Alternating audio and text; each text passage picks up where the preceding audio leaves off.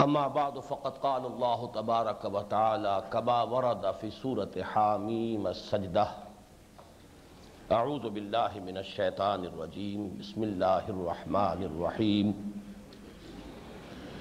इन्नल्लज़ीन क़ालू रब्बुनल्लाहु सुम्मस्तक़ामू ततनज़्ज़लु अलैहिमुल मलाइकतु अल्ला तख़ाफ़ू वला तहज़नू व अबशिरू बिल जन्नह अल्लाह तखाफू वला तहजनू व अबशरू बिलजन्नतिल्लती कुंतुम तुअदून नहनु औलियाउकुम फिल हयाति दुनिया व फिल आखिरह वलकुम फीहा मा तश्तही अनफुसुकुम वलकुम फीहा मा तद्दऊन नुज़ुलम मिन गफूरिर रहीम वक़ाल अज़्ज़ कमा वरद फ़ी सूरत यूनुस अला इन्न औलिया अल्लाह ला खौफुन अलैहिम वला हुम यहज़नून अल्लज़ीन आमनू व कानू यत्तक़ून लहुमुल फ़िल हयातिद दुनिया व फ़िल आखिरह वक़ाल अज़्ज़ फ़ी आखिर सूरत आल इमरान इन नफ़ी खल्क़मावात वल्लर्द वख्तिलाफ़िल्लैल वन्नहार लायातिल्लिल्बाब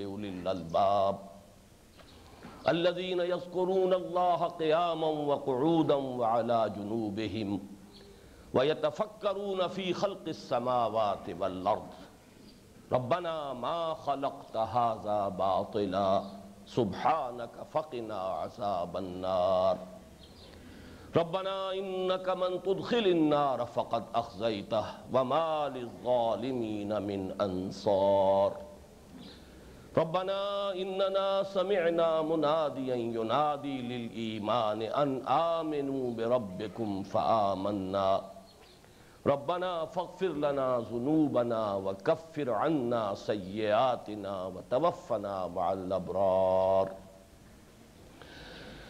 क़ाल वक़ाल जल्ल वअला कमा वरद फ़ी सूरत नूर, अल्लाह नूर समावात वल्लर्द मसल नूरिही कमिशकातिन फ़ीहा मिसबाह।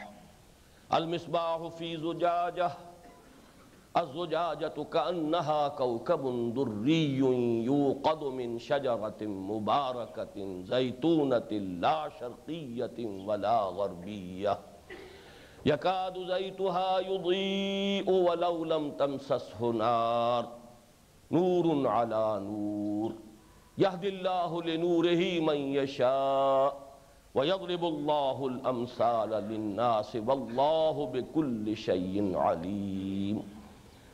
सदक़ल्लाहुल अज़ीम।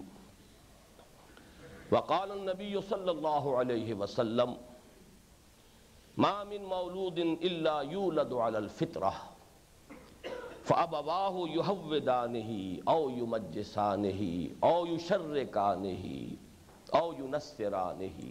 औ औ कमा क़ाल सल्लल्लाहु वसल्लम वक़ाल सल्लल्लाहु वसल्लम इन्न हाज़िहिल क़ुलूब लतस्दउ कमा यसदउल हदीद इज़ा असाबहुल मा क़ील फ़मा जलाउहा या रसूल अल्लाह क़ाल कसरत ज़िक्रिल मौत व तिलावतिल क़ुरआन औ कमा क़ाल सल्लल्लाहु अलैहि वसल्लम। रब इशरह ली सदरी व यस्सिर ली अमरी वहलुल उक़दतम मिन लिसानी यफ़क़हू क़ौली। अल्लाहुम्मा रब्बना अलहिमना रुश्दना व अइज़ना मिन शुरूर अनफुसिना। अल्लाहुम्मा अरिनल हक़्क़ हक़्क़न वरज़ुक़ना इत्तिबाअह व अरिनल बातिला बातिलन वरज़ुक़ना इज्तिनाबह अल्लाहुम्मा नव्विर क़ुलूबना बिल ईमान वशरह सुदूरना लिल इस्लाम। अल्लाहुम्मा मन अहयैतहु मिन्ना फ़अहयिही अलल इस्लाम, व मन तवफ़्फ़ैतहु मिन्ना फ़तवफ़्फ़हु अलल ईमान। आमीन, या रब्बल शुक्र सद शुक्र के जब माजब मंजिल रसीद, अल्लाह का बड़ा फजल करम है। हमारे पास अल्फाज नहीं है जिनमें उसका शुक्र अदा किया जा सके। कि हमारे ये पाँच रोज़ा मुहाजरात कुरानी जिनका उनवान हकीकत ईमान रहा है, आज अपनी अख्ताम को पहुँच रहे हैं। एक रफ़ीक ने टेलीफोन पर आज सुबह एक ख्वाहिश का इजहार किया था कि आज चूँकि आखिरी दिन है और हो सकता है बहुत से हजरात पहली मरतबा आ रहे हों तो गुजशत चार दिनों के खुतबात का कुछ खुलासा भी बयान कर दिया जाए। मैंने उस वक्त तो कुछ गौर नहीं किया और उनसे वादा कर लिया, लेकिन इस वक्त इसीलिए ये सारी सराहत कर रहा हूँ कि मैं वो वादा पूरा नहीं कर रहा। इसलिए कि आज की मंजिल खुद अपनी जगह खासी तवील है और वक्त हमारे पास महदूद है। बहरहाल, जिस ज़रूरत का एहसास उन्हें हुआ है, वो ज़रूरत तो वाकई है। लेकिन आज के दौर में उस ज़रूरत के पूरे होने की बड़ी आसान सूरतें पैदा हो चुकी हैं।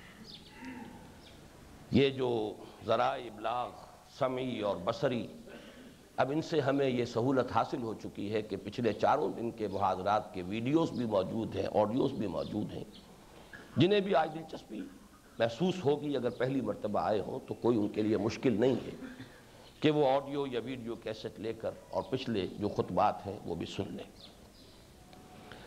मैं आज ये कोशिश करूँगा कि कल का बहुत थोड़ा सा हिस्सा जो रह गया था उसे भी बहुत ही इजमालन बयान करूँ कल का असल मजमून, ईमान का असल हासिल, ईमान का असल लुब लुबाब अमन हसूल अम। और ये हसूल अम, इससे मुराद है जहनी इतमान और कलबी इतमान ये दो हैं जो हाईएस्ट फैकल्टीज़ हैं इंसान में, जिसको हम हेड एंड हार्ट से ताबीर करते हैं। जो भी कुछ उलझन होती है, जो भी कोई रंज हो, सदमा हो, गम हो, फ़िक्र हो, अंदेशा हो, उनका ताल्लुक इन्हीं दो चीज़ों से है। और वाक़ यह है कि वो लोग बड़े खुश नसीब हैं कि जिनके ये दोनों फैकल्टीज़ मुतहद हों और स्प्लिट पर्सनैलिटीज़ ना हो कि दिल कुछ कह रहा हो और दिमाग कुछ और कह रहा हो। बल्कि ये कि दिल दिमाग के इतिहाद के साथ वो जो भी रास्ता उन्होंने इख्तियार किया हो, अला वजिल बसीरत, वो उस पर गामजन हो। जहनी इतमान के सिलसिले में कल मैं अर्ज़ कर चुका हूँ, आज सिर्फ़ दो जुमले अर्ज़ करूँगा। ईमान से उन तमाम सवालात का बुनियादी जवाब मिल जाता है कि जिनसे फ़लसफ़े में बहस की जाती है। एक वर्ल्ड व्यू कायनात की हकीकत क्या है? आया ये हमेशा से है, हमेशा रहेगी। खुद ब खुद बनी है और ख़ुद ब खुद चल रही है, या कोई इसका बनाने वाला है, कोई इसका चलाने वाला है।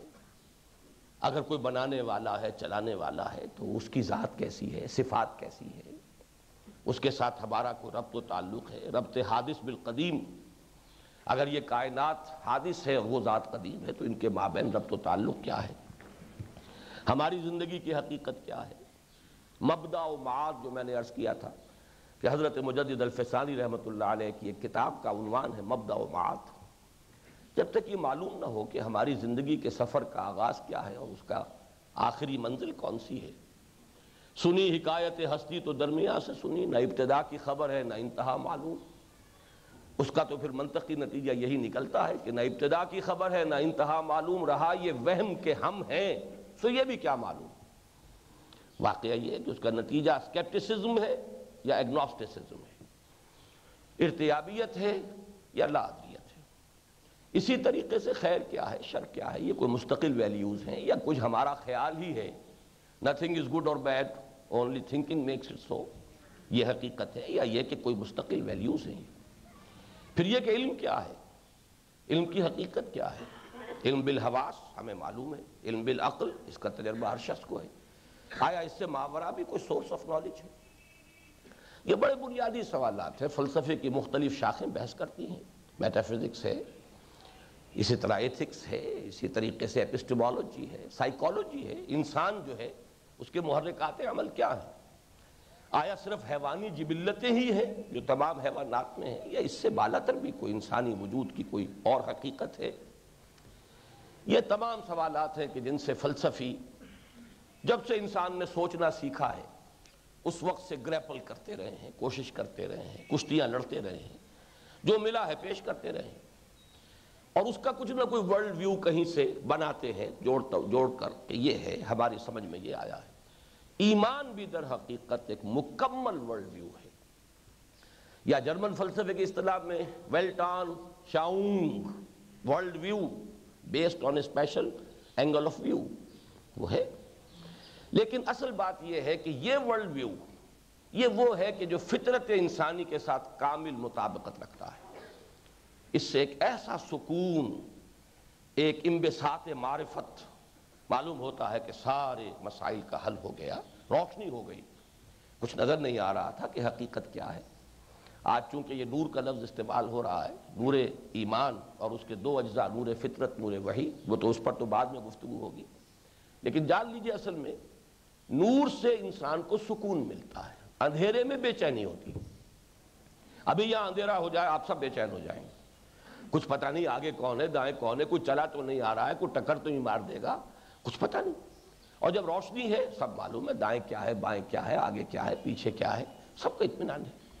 तो दर हकीकत वो जहनी इतमान हासिल होता है इस ईमान के नतीजे में। दूसरी शय है कल्बी इतमान कल्ब को जो अवारिज लाक होते हैं, उनमें एक तरफ़ तो खैर ये खुशी भी होती है, मसरत भी होती है इम्बसात भी होता है। लेकिन उससे तो आदमी को चिंता नहीं होती, तशवीश नहीं होती। लेकिन जब गम हो, रंज हो हुजन हो, सदबा हो कर्ब हो, दुख हो, जैसे कि महात्मा गौतम बुद्ध के अल्फाज सर्वम दुखम। इस कायनात में दुख दुख है। यहाँ तो कोई सुख चैन का नाम ही नहीं है, दुख ही दुख है।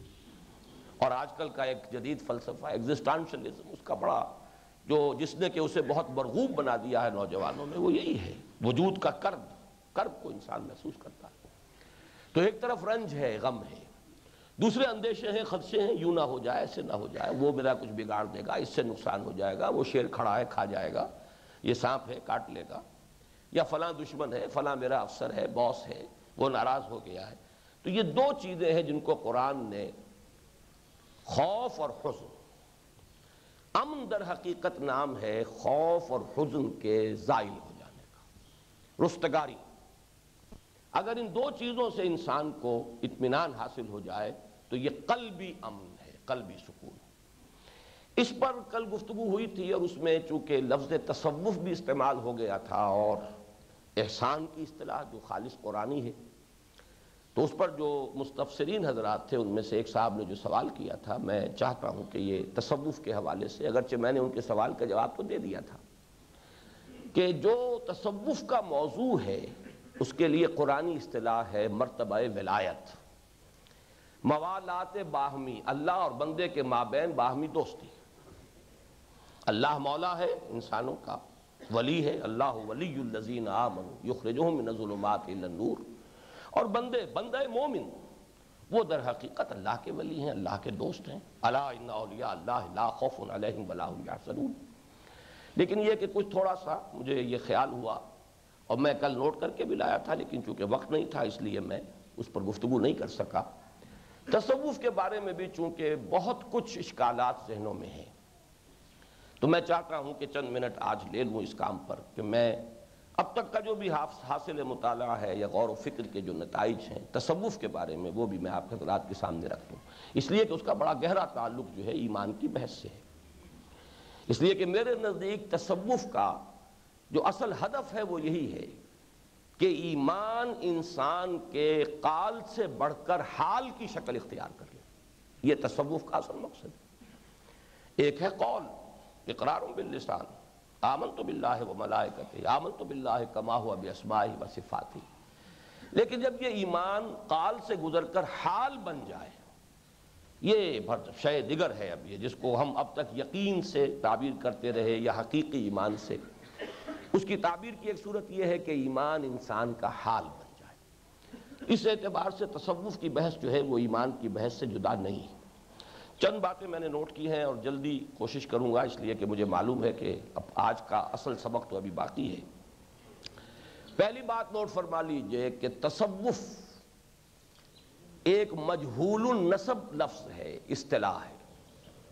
इसका नसब ही मालूम नहीं। सिर्फ़ इस पर इक्तफा नहीं कर रहा मैं कि ये कहूँ कि ये ना कुरान में है, ना हदीस में है। कुरान और हदीस में तो और भी बहुत से अल्फाज नहीं है और लेकिन वो हमारे यहाँ कबूल कबूल आम हासिल किए हुए। मज़हब का लफ्ज़ ना कुरान में, ना हदीस में। कुरान में तो मैं यकीन के साथ कह सकता हूँ, इसलिए कि वो तो मा बैन दुफ़तैन हमारे सामने है। हदीस में मुमकिन है कहीं आया वो जखीरा इतना वसी है कि कोई कैटेगोरिकल कोई स्टेटमेंट नहीं दिया जा सकता। इसी तरीके से अकीदा, मेरे इनकी हद तक तो ना कुरान में, ना हदीस में, ये भी बात की असलाह है। लेकिन यह है कि बहरहाल उन असलाहत को तो हम लोग तस्लीम करते हैं। बड़े से बड़ा वहाबी भी तस्लीम करता है। लेकिन तस्वुफ पर आकर जो है वो कुछ, वो अटकती है वो कड़वी गोली हलक के। तो ये जान लीजिए कि ये हकीकत है कि ये न कुरान और हदीस की असलाह है और न ही इसका नसब मालूम मजहूल नसब है। इसलिए कि ये बन सकता है बाब तफाउल तो सूफ से बन सकता है। बई माना के इब्तदाई जो सूफिया थे, वो अपने जिस्म को तकलीफ़ देने के लिए ऊनी लिबास पहनते थे, कंबल, उसी का लिबास बना हुआ है ताकि वो काटता रहे अंदर। वो नर्म और बहुत ही नर्म व नाजुक लिबास नहीं। तो इससे शायद ये बना है। कुछ लोग खींच तान करके कोशिश करते हैं, सफ़ा से मुश्तक करार दे दें, वो बनता नहीं किसी कायदे से भी। सफ़ाए कल्ब यकीन उसका मौजू तो है, लेकिन सफ़ा से तसवुफ़ का लफ्ज़ मेरे नज़दीक, मेरे इल्म की हद तक, जितनी थोड़ी सी सरफ नाव मैं जानता हूँ, उससे नहीं बनता। दूसरी बात यह कि तसवुफ़ के दो रुख हैं, जो तसवुफ़ आज तक भी है सामने। एक इसका फलसफियाना रुख है। यहाँ थोड़ी सी वजाहत करना चाहूँगा कि अगरचे मुसलमानों में फलसफियों की हैसियत से तो कुछ और अशखास मशहूर हैं।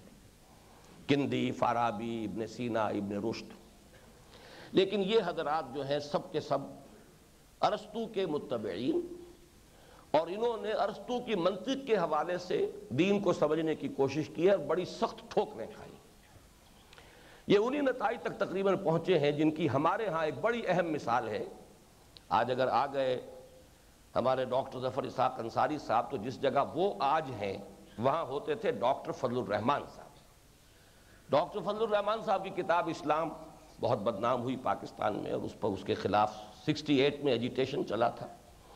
और वो एजिटेशन ही दर हकीकत अयूब खां के जवाल का नुक़ आगाज़ था। बल्कि नुक़ आगाज़ तो वो फरवरी में जो ईद उल फितर के चाँद का झगड़ा हुआ था, वो था, लेकिन ये कि वो फिर अपने जैनत को पहुँचा है। वो एंटी फजलरहमान जो एक एजिटेशन हुआ।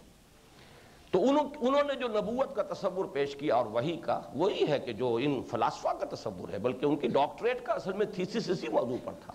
Concept of prophecy in Islam और वो हमारे जो मुतकलमीन हैं या अहल सुन्नत है, उनके नज़दीक वो तकरीबन कुफर के दर्जे को पहुँच जाने वाली बात है। इसीलिए वो इस कदर शिद्दत के साथ जो है वेजिटेशन हुआ था। असल में मुसलमानों के सही फलसफी सूफिया हैं।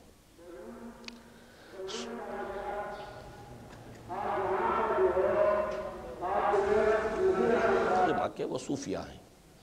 और ये कौल मैं नकल कर रहा हूँ, मैं इस कौल का नाकिल हूँ। इस कौल के असल कायल हैं मौलाना अमीन एहसन इसलाही। उन्होंने खुद मुझसे ये अल्फाज कहे। अगरचे वो तसवुफ के बड़े दुश्मन हैं।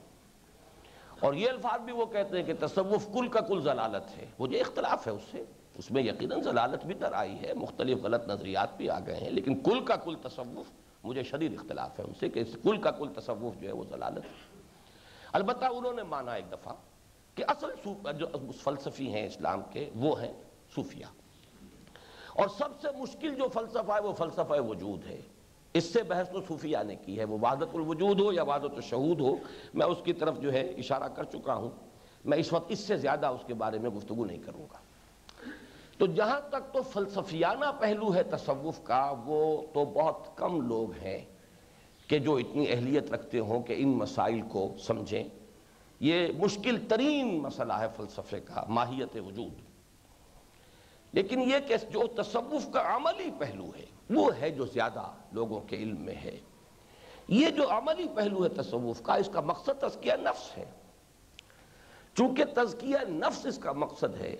अब ये बात मेरी है जो मैं अर्ज़ कर रहा हूँ कि मेरे नज़दीक तारीख़ इंसानी के सबसे बड़े माहरीन नफ्सियात हमारे सूफिया हैं। जिस गहराई में उन्होंने नफ्स इंसानी की, जो गहराइयाँ हैं, उनमें उतर कर मुशाह किया है कि क्या हकाइक हैं, क्या कुछ इनके अंदर क्या कुछ जो है मौजन है, कैसे कैसे तूफ़ान है इंसान के नफ्स के अंदर। तो सूफिया कराम से बढ़कर कोई जदीद तो वाक़ ये है कि जो मादा परस्ताना नुक़ नज़र रखने वाले जो माहरीन नफ्सियात हैं, उनको तो वहाँ तक रसाई हासिल ही नहीं। लेकिन यह है कि जो गहराई, अगर आप जो इंसानों की किस्में बयान की हैं, शाह वली दहलवी रहमत ने नफ्सियात के हवाले से, अब मैं तो जब पहली मरतबा पढ़ा, दंग रह गई। अब इस वक्त मैं उसकी तफसील में नहीं जा सकता। तसवुफ में जो चीज़ें जेर बहस आती हैं, वो सलूक है।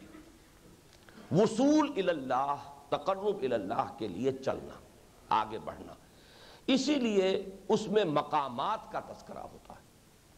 मैंने कल ये लफ्ज़ इस्तेमाल किया था, मकाम सब्र है, मकाम शुक्र है, मकाम मोहब्बत है, मकाम तस्लीम है, मकाम रज़ा है, मकाम तवक्ल है।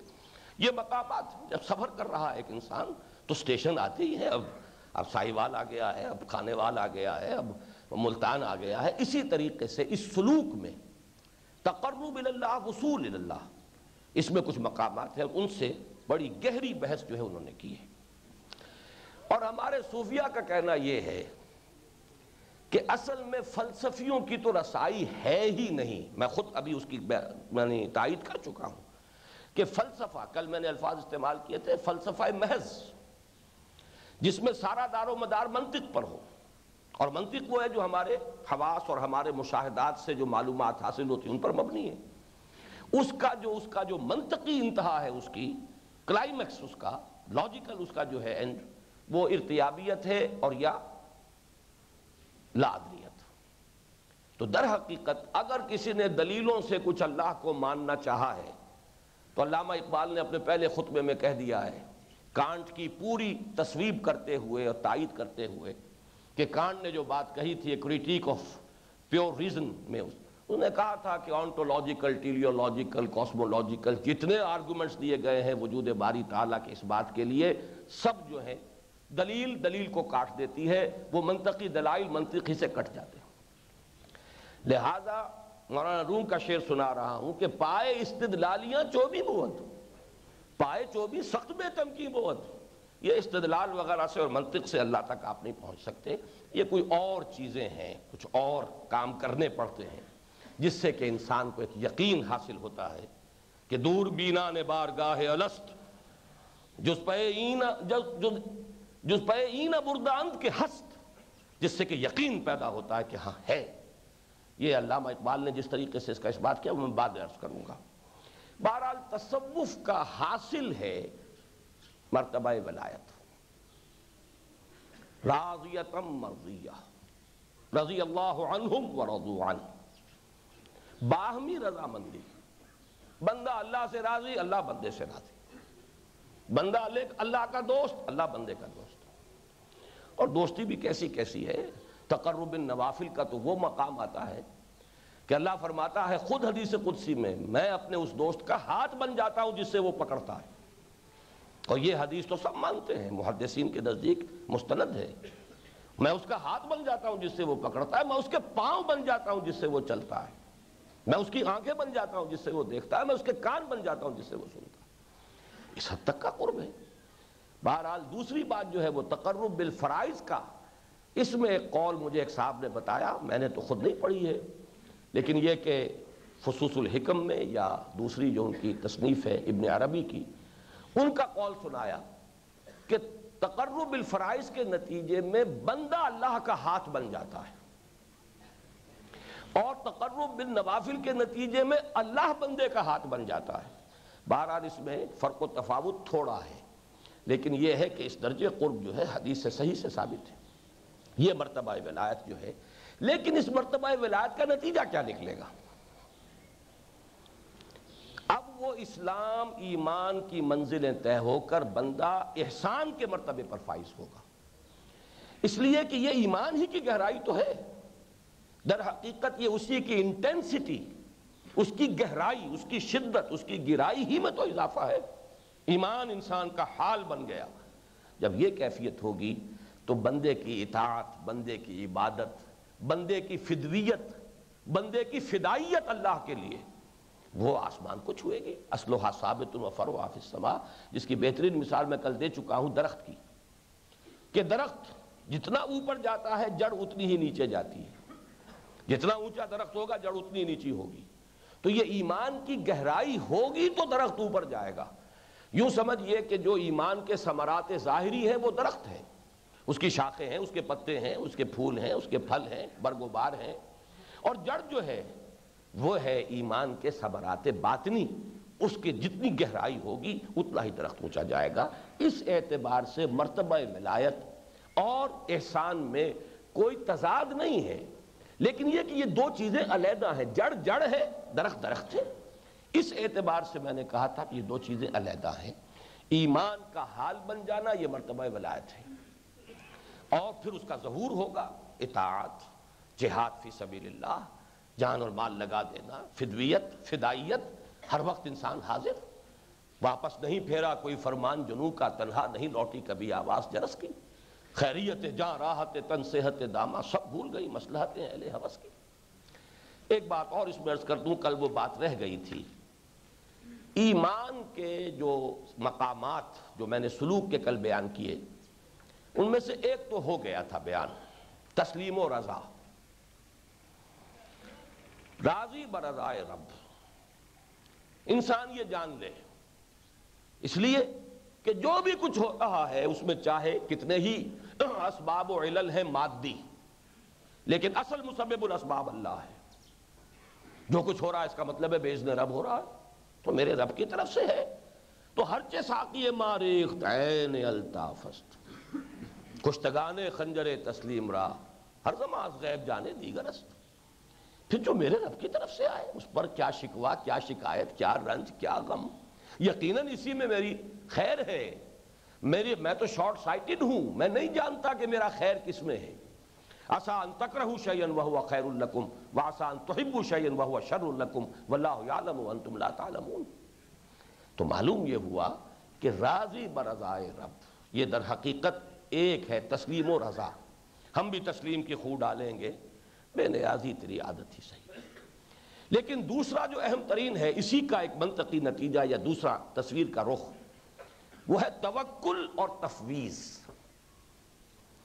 रजा उस पर है जो हम पर वारिद हो रहा है, जो हालात भी आ रहे हैं। मा साब मुसीबत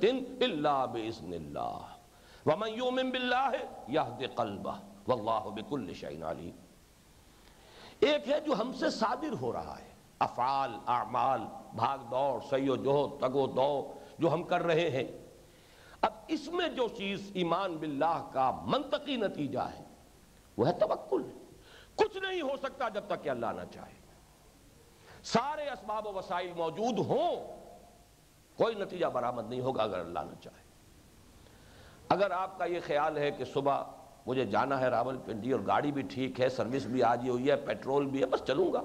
मालूम हुआ आप महजूब हो गए, अल्लाह को भूल गए। अल्लाह बीच में याद नहीं रहा। वो जो कल इमाम राज़ी का मैंने आपको कॉल सुनाया था कि मारिफत का ऊँचा मकाम तो यह है कि हर शय से पहले अल्लाह नज़र आए। दरमियानी मकाम ये कि हर शय के साथ ही अल्लाह भी नज़र आए। और यह बड़ा घटिया दर्जा है कि हर वाक़े के, वकूए के बाद तो अल्लाह याद आ जाए। ये तो बड़ा घटिया है। पर हमें तो कभी याद आता ही नहीं। लेकिन यह कि नहीं हो सकता जब तक कि इसने रब ना हो। ये यकीन अगर नहीं है, होगा वो। अगर के तवक्ल के वो गलत मानी जो है, अल्लाह पर छोड़कर बैठ गए, हाथ पाँव तोड़कर बैठ गए, वो तस्वुर नहीं है। पूरी मेहनत करो। आइदुलहम मस्तता जितना इम्कान के अंदर है, साजो सामान फराहम करो, दुश्मन के मुकाबले के लिए। तमाम वसाइल इसबाब इस्तेमाल करो। वसाइल इसबाब ये आलम इसबाब है, इस्तेमाल करो। लेकिन कभी यह ना समझना कि नतीजा इनसे बरामद हो जाएगा। चाहेगा वो जो अल्लाह हो। अल्लाह जो चाहेगा वो होगा। माशा अल्लाह काना व मालम यशालम यकुल। मैंने आपको कल एक हदीस सुनाई थी, उसका एक जुमला और भी है। अब देखिए, होता क्या है? आपने किसी काम के लिए बड़ी मेहनत की, बड़ी कोशिश की, काफ़ी अरसे से आप तक दौ कर रहे थे। कोई काम आप करना चाहते थे, नहीं हो पाया। कोई मौका था, आपके हाथ से निकल गया। अब बैठे हैं रंज और गम और सदमे में, इतनी मेहनत की, इतनी भाग दौड़ की, इतना पैसा सर्व किया, सफारिशें भी करवा ली, अपनी इज़्ज़त नफ्स का धेला भी करवा लिया, सब कुछ करवा लिया, फिर भी नहीं हो सदमा और रंज कितना होगा? अब उस हदीस के अल्फाज सुनिए, फालम, ये वही हदीस है जो कल मैंने आपको सुनाई थी अब्दुल्ला इबन अब्बास रज़ी अल्लाह तनहुमा के हवाले से, कि सवारी पर पीछे बैठे हुए हज़रत अब्दुल्ला इबन अब्बास, हजूर आगे हैं। तो हजूर ने फरमाया, या गुलामो, इन्नी वाल कब कले मातिन ए नौजवान, मैं तुम्हें चंद बातें सिखाना चाहता हूँ, गौर से सुनो। उनमें वो कल सुना चुका हूँ मैं आपको कि तमाम इंसान मिलकर चाहें कि तुम्हें कोई गदन पहुँचा सके, पहुँचा नहीं सकते, मगर वो जो अल्लाह ने लिख दिया। और तमाम इंसान मिलकर तुम्हें को फ़ायदा पहुंचाना चाहे, नहीं पहुँचा सकते, धेले भर का फ़ायदा। इल्ला ये कि अल्लाह ने लिख दिया। जफल कलम व तो चीज़ अब तय है अल्लाह के इल्म कदीम के अंदर। उसी में आता है ये, फालम अख्ता का लम यकुल युसीबा का वमा असाबा का लम यकुल यख्तिया का इस बात को जान लो, जो चीज़ आई है, वो तो आनी ही थी, मुमकिन ही नहीं था कि ना आती। और जो चीज़ जानी थी तुम्हारे हाथ से छूट जानी थी, वो तो छूटनी ही थी। कुछ भी कर लेते, यूँ होता तो यूँ हो जाता, यूँ कर लेता तो यूँ हो जाता। बस फला शख्स ये कर देता तो ये हो जाता, ये ना करता तो यूँ ना होता। ये तुम्हारे सब जो है, ये पेचोताब। बरून कशीद पेचा के हस्तबूद मरा चौकदहा के मकाम रजा कशूद मरा। इस पेचोताब से निकालने वाली शे फ्रस्ट्रेशन और कॉन्फ्लिक्ट से बचाने वाली शे सारे अमराज जो है इस वक्त नफसियाती जिन्हें हम दिमागी अमराज कह देते हैं, वो सब फ्रस्ट्रेशन का नतीजा है कॉन्फ्लिक्ट का नतीजा है। और इन सब का इजाला है ईमान। अगर यकीन हो, ला हौला वला कुवत काना मालम यकुन। इसी में एक और हदीस सुना रहा हूँ। इन कल मत लाओ तफ्तह अमल शैतान। ये लौ क्या जो कलमा है, लफ्ज, इससे तो शैतान का अमल शुरू हो जाता है। यूँ करता तो यूँ हो जाता, कैसे हो जाता? अल्लाह का फैसला यही था कि यूँ होना है। तुम्हारी ये सोच ही दर हकीकत ईमान के मनाफी है। अब आप इसका अंदाज़ा कीजिए कि किस दर्जे में ये कैफियत जो है, अगर इंसान के ऊपर ईमान के ये हकाइक मुनकशिफ हो, और सिर्फ़ मुनकशिफ ना हो रासिक हो गए। रासिक भी का लफ्ज भी काफ़ी नहीं, अगर उसका हाल बन गए हो तो कैसा गम और कैसा खौफ? खौफ किससे? वो होगा जो अल्लाह चाहेगा। किसी के हाथ में मेरा कुछ, मेरा ना बुराई है, ना भलाई है, ना इज़्ज़त का ढेला कराएगा आदमी किसी के सामने खुशाबत करके। ठीक है जल्दी ज़रूरत की हद तक एक बात कह दीजिए। फिर अगर अल्लाह को मंजूर होगा, वो बात वो मान लेगा, नहीं मानेगा तो जाए। इसका मतलब है अल्लाह को मंजूर नहीं, जाए दफाओ ये नहीं कि लगे हुए हैं और खुशामने कर रहे हैं और ये है और अपनी इज़्ज़त नफ्स का जो है वो धेला करवा रहे हैं, ये नहीं होगा। तो ये है दर हकीकत असल में हासिल इन दोनों का क्या है, इसे नोट कीजिए। इन दो का मर्तबा, ये दोनों का नतीजा जो है, तफवीज और तवक्ल एक, तस्लीम और रजा दो। तस्लीम और रजा को ब्रैकेट कर लीजिए और तस्वीज और तवक्ल को ब्रैकेट कर लीजिए। और रजा ब्रैकेट कर लीजिए। ये तकरीबन एक ही शे है। तवक्ल और तफवीज थोड़ा थोड़ा फ़र्क तो बहरहाल दो अल्फाज हैं तो कॉनोटेशन में कुछ ना कुछ तो फ़र्क होगा। लेकिन तफवीज जो है तवक्ल से अगला मरहला है। वफ़ अमरी इन बसीर बिलबाद मैं अपना मामला अल्लाह के हवाले करता हूँ। जो उसका फैसला हो, मैं उस पर राज़ी हूँ। ये एक जहनी कैफियत है इंसान की, या कलबी कैफियत कहिए। यह तफवीज जो है ठीक है, मैं मेहनत कर रहा हूँ, कोशिश कर रहा हूँ, जो भी मेरी समझ में आ रहा है, उसके मुताबिक अपने फ़राइज अदा कर रहा हूँ, उसके लिए भाग दौड़ कर रहा हूँ, ये ना हो। Not to leave any stone unturned जो भी आप कर सकते हो, वो पत्थर तो आपको उलटना ही उलटना है। लेकिन इसके बाद तवक्ल भी अल्लाह पर। अल्लाह तखजू मिंदूनी वकीला, और मामला अल्लाह के सुपुर्द, सुपुर्दुम में तो खेशरा तो दानी हिसाब कमो बेशरा। ये चीज़ जो है तफरी इस कदर इसमें सुकून है। इतना इतमान है।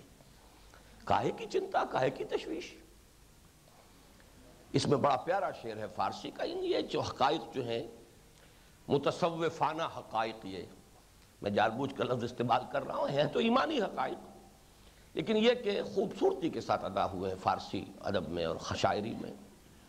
किस कदर प्यारा शेर है? कार साजे माँ बेफिक्रे कारे माँ। फ़िक्र माँ दर कारे माँ, आजारे माँ। देखिए, इस शेर को आप समझ नहीं सकेंगे जब तक वो हदीस सामने ना हो। मन कान फ़ी हाजत अखी है, कान अल्लाह फ़ी हाजत ही। ये तो हदीस है। जो मुसलमान अपने किसी मुसलमान भाई के काम में लगा हुआ है, उसकी कोई ज़रूरत पूरी कर रहा है, तकलीफ़ रफा कर रहा है, कुछ और जो भी कर सकता है, कर रहा है, अल्लाह उसके काम पूरे करने में लग जाता है। मन काना फ़ी हाजत अखी कान लाओ फ़ी हाजत ही। ये तो अभी एक इंसान का, अगर आप अल्लाह के काम में लग जाए तो क्या इतना अल्लाह ताला बेमुरवत है? क्या अंदाज़ा करते हैं उसके बारे में? आप उसके काम में लगे हुए और वो आपके काम को दुरुस्त ना करे। एक बड़ी प्यारी बात एक दफ़ा कही थी, हमारे मुहाजरात में आए थे, सैयद मुजफ्फर हुसैन नदवी साहब। मेरे बुज़ुर्गों में से हैं। और मुजफ्फराबाद, आज़ाद कश्मीर ही में उनका क़्याम है। नदवी हैं। उन्होंने जुमे में तकरीर की थी, आए थे मुहाजरात में शिरकत के लिए बड़ी प्यारी बात कही थी। नुसरत खुदाबंदी के हसूल का लाजमी ज़रिया कौन सा है? श्योर शॉट इन तनसुरकुम अगर तुम अल्लाह की मदद करोगे, अल्लाह तुम्हारी मदद करेगा। तुम अल्लाह के दीन के काम में लग जाओ, उसका झंडा उठाओ, अल्लाह तुम्हारी मदद करेगा। आखिर तो एक इंसान से भी आप, अगर शरीफ इंसान है, बामरवत इंसान है तो करते हैं। आप उसका भला करें, वो आपका भला नहीं करेगा। इसी तरह कार साजे माँ बेफिक्रे कार माँ। अगर मैं वाकता अल्लाह का हो गया हूँ, और अल्लाह ही के लिए अपने आप को लगा रहा हूँ, खपा रहा हूँ तो कैसे मुमकिन है कि मेरे सारे मामला की ज़िम्मेदारी अल्लाह खुद ना ले ले? जब मेरा कारसाज ही मेरे मामला की फ़िक्र में है तो मुझे और किसी चिंता की ज़रूरत क्या है? और अगर मैं खुद करूँगा तो कुछ ना कुछ बिगाड़ बैठूँगा। मेरा इल्म काबिल नहीं, मैं कहीं ठोकर खाऊँगा। तो फ़िक्र माँ, दर कार माँ, आजार माँ। अगर मैं अपने मामला का सारा सिलसिला अपने हाथ में ले लेता हूँ तो अपने आजार का सबब बन जाता हूँ।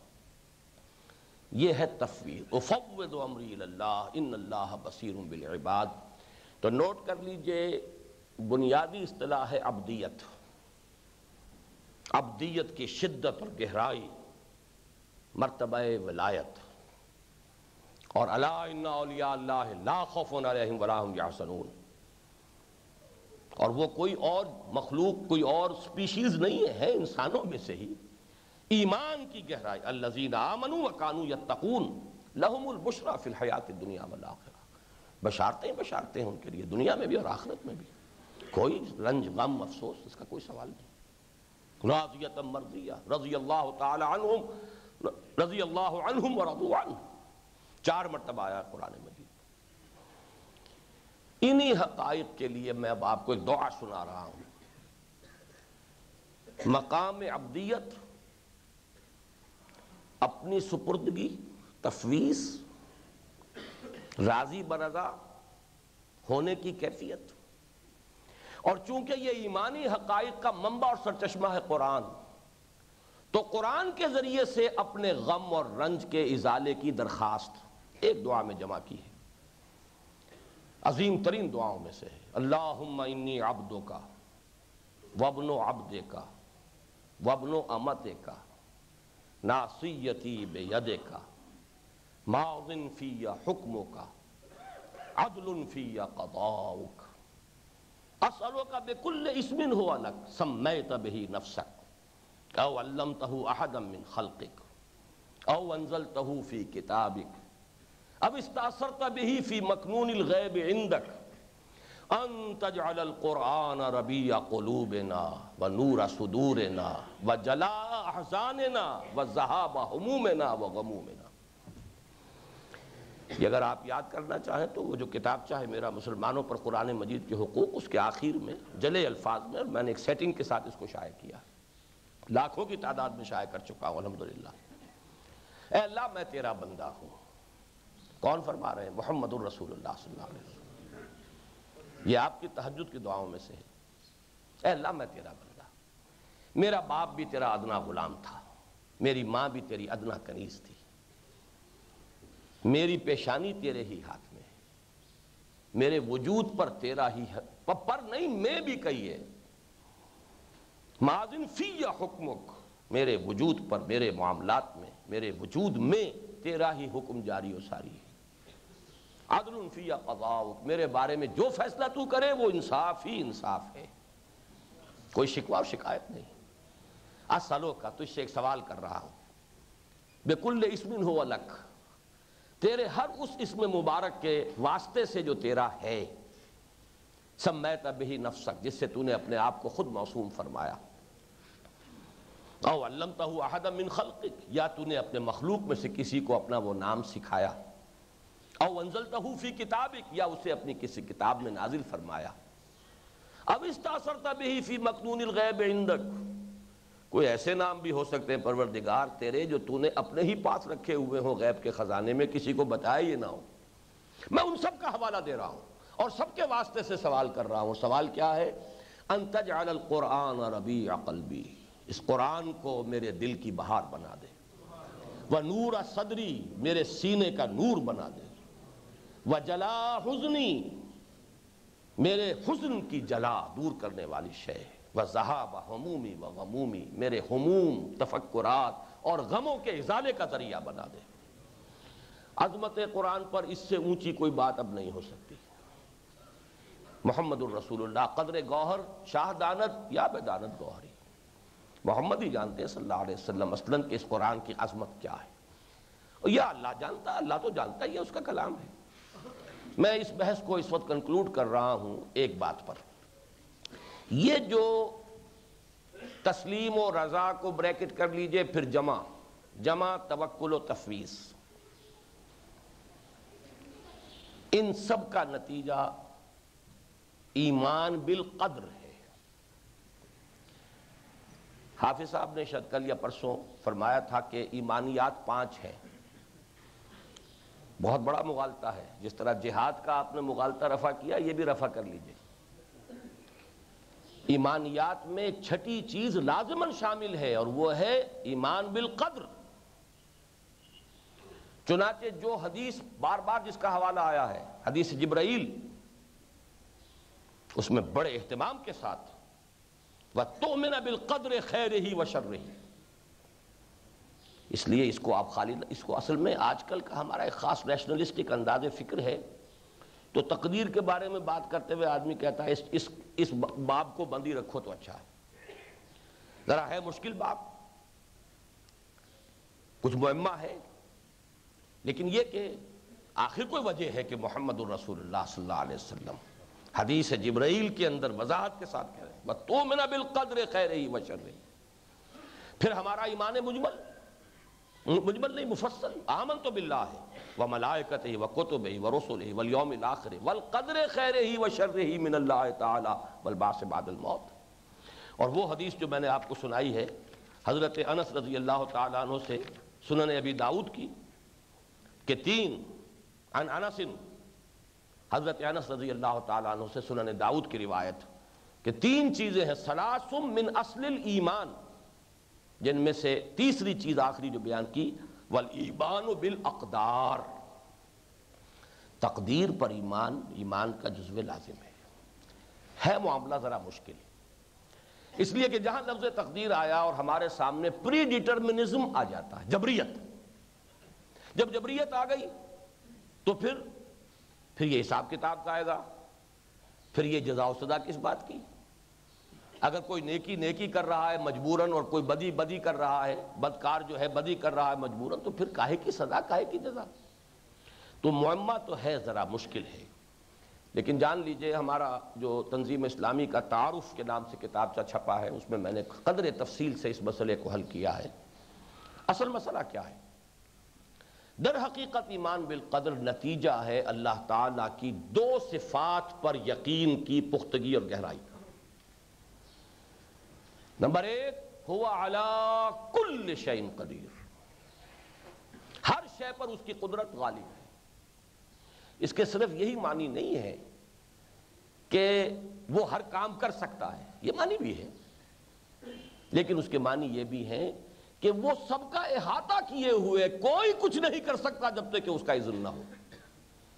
ये जो अहाता कुदरत है, उस पर मैंने कुछ आयात नोट की है जल्दी जल्दी पढ़कर सुना रहा हूँ। अलाकुल शईम मुहित। अल्लाह हर शय का अहाता किए हुए। वकान अल्लाह बिकुल शईम मुहिता। अल्लाह हर शय का अहाता किए हुए। वन अल्लाह कद अहाता अल्लाह ताला ने हर शय का अहाता किया हुआ इल्म के एतबार से। इन अल्लाह बिमा यामलूना मुहित। इल्म ही इल्म नहीं, जो कुछ ये कर रहे हैं, उसका भी अहाता अल्लाह ने किया हुआ। अल्लाह के दायरा कुदरत से बाहर नहीं जा सकते। वकान अल्लाह बिमा यामलूना मुहिता। ये तमाम आयात कुरान मजीद की है। तो अहाता कुदरत अहाता इल्म। और अहाता इल्म है असल में जिससे बात समझ लेंगे तो तकदीर का उकदा हल हो जाता है। प्री नॉलेज प्री डिटर्मिनेशन को मुस्तलजिम नहीं है। आपको किसी शय का इल्म पहले हो गया, इसके ये मानी नहीं है कि अगर वो शय हो रही है तो आपके जबर की वजह से हो रही है। इन दो को स्प्लिट कर लीजिए। Pre knowledge is something else pre determination is something else सादा तरीन मिसाल है कि आप किसी बच्चे के बारे में अंदाज़ा करते हैं, आपने खुलोना एक तरफ़ रख दिया कि ला मुहाला, ये बच्चा उधर मुतवजह होगा। और आपका अंदाज़ा सही साबित हो गया। लेकिन क्या आपके जबर के तहत बच्चे ने उधर तवज्जो की? हकीकत सिर्फ़ इतनी है यू कुड गैस इट आप अंदाज़ा कर सकते थे, बस। और हमारा अंदाज़ा सही भी हो सकता, गलत भी हो सकता। अल्लाह का इल्म गलत नहीं हो सकता। अल्लाह का प्री नॉलेज कौन किस वक्त क्या करेगा यह है अल्लाह का प्री नॉलेज ये इल्म है। लेकिन लाजमी नतीजा प्री डिटर्मिनेशन नहीं है। अल्लाह ने आज़ादी दी हुई है, इख्तियार दिया हुआ है। इंसान अपनी आज़ादी से, इख्तियार से वो फेल कर रहा है। इट्स इज़ चॉइस इम्मा काफिरम व इम्मा इम्मा शाकिरम व इम्मा कफूरा। चाहे शुक्रगुजार हो, चाहे वो कुफर की रविश इख्तियार करे। फमन शाह फल योमिन, वमन शाह फल यकफुर। जो चाहे ईमान लाए, जो चाहे कुफर करे। ये इख्तियार है। अलबत् मालूम है अल्लाह को। अल्लाह का इल्म गलत नहीं हो सकता। होगा वही जो उसके इल्म में है। लेकिन इसको अगर आप प्री नॉलेज को प्री डिटर्मिनेशन से अलहदा कर दें तो मसला हल है। लेकिन ये जान लीजिए कि बहरहाल ये ईमान के अज्जाए लाजिम में से है। और किसी भी जदीद फ़िक्र या रुझान के तहत इसकी तरफ़ से आँखें बंद करने की कोशिश न कीजिए। जो कुछ भी अहदी से नबवी में आया है, अगरचे इस अंदाज में, इन अल्फाज में कुरान मजीद में ये बात नहीं मिलेगी। लेकिन अल्लाह की कुदरत मुहित, अल्लाह का इल्म मुहित। अल्लाह आलिम मा काना व मा यकून, जो होगा वो उसके इल्म में है। लिहाजा जो कुछ मैं कल करूँगा वो जानता है। लेकिन इसका मतलब ये नहीं है कि जो कुछ मैं कल करूँगा उसके जबर की वजह से करूँगा। जो कुछ करूँगा वो मेरा अपना चॉइस होगा बट ही नोज़ इट तो प्री नॉलेज और प्री डिटर्मिनेशन इन दोनों को अलहदा कर दें तो मसला हल हो जाएगा। गड़बड़ सारी वहाँ होती है जहाँ इनको गिरा दे दी जाती है आपस में। बस ये तो था कल के, के बारे में जो भी कुछ था। अब आगे आइए आज का जो हमारा मौजू है।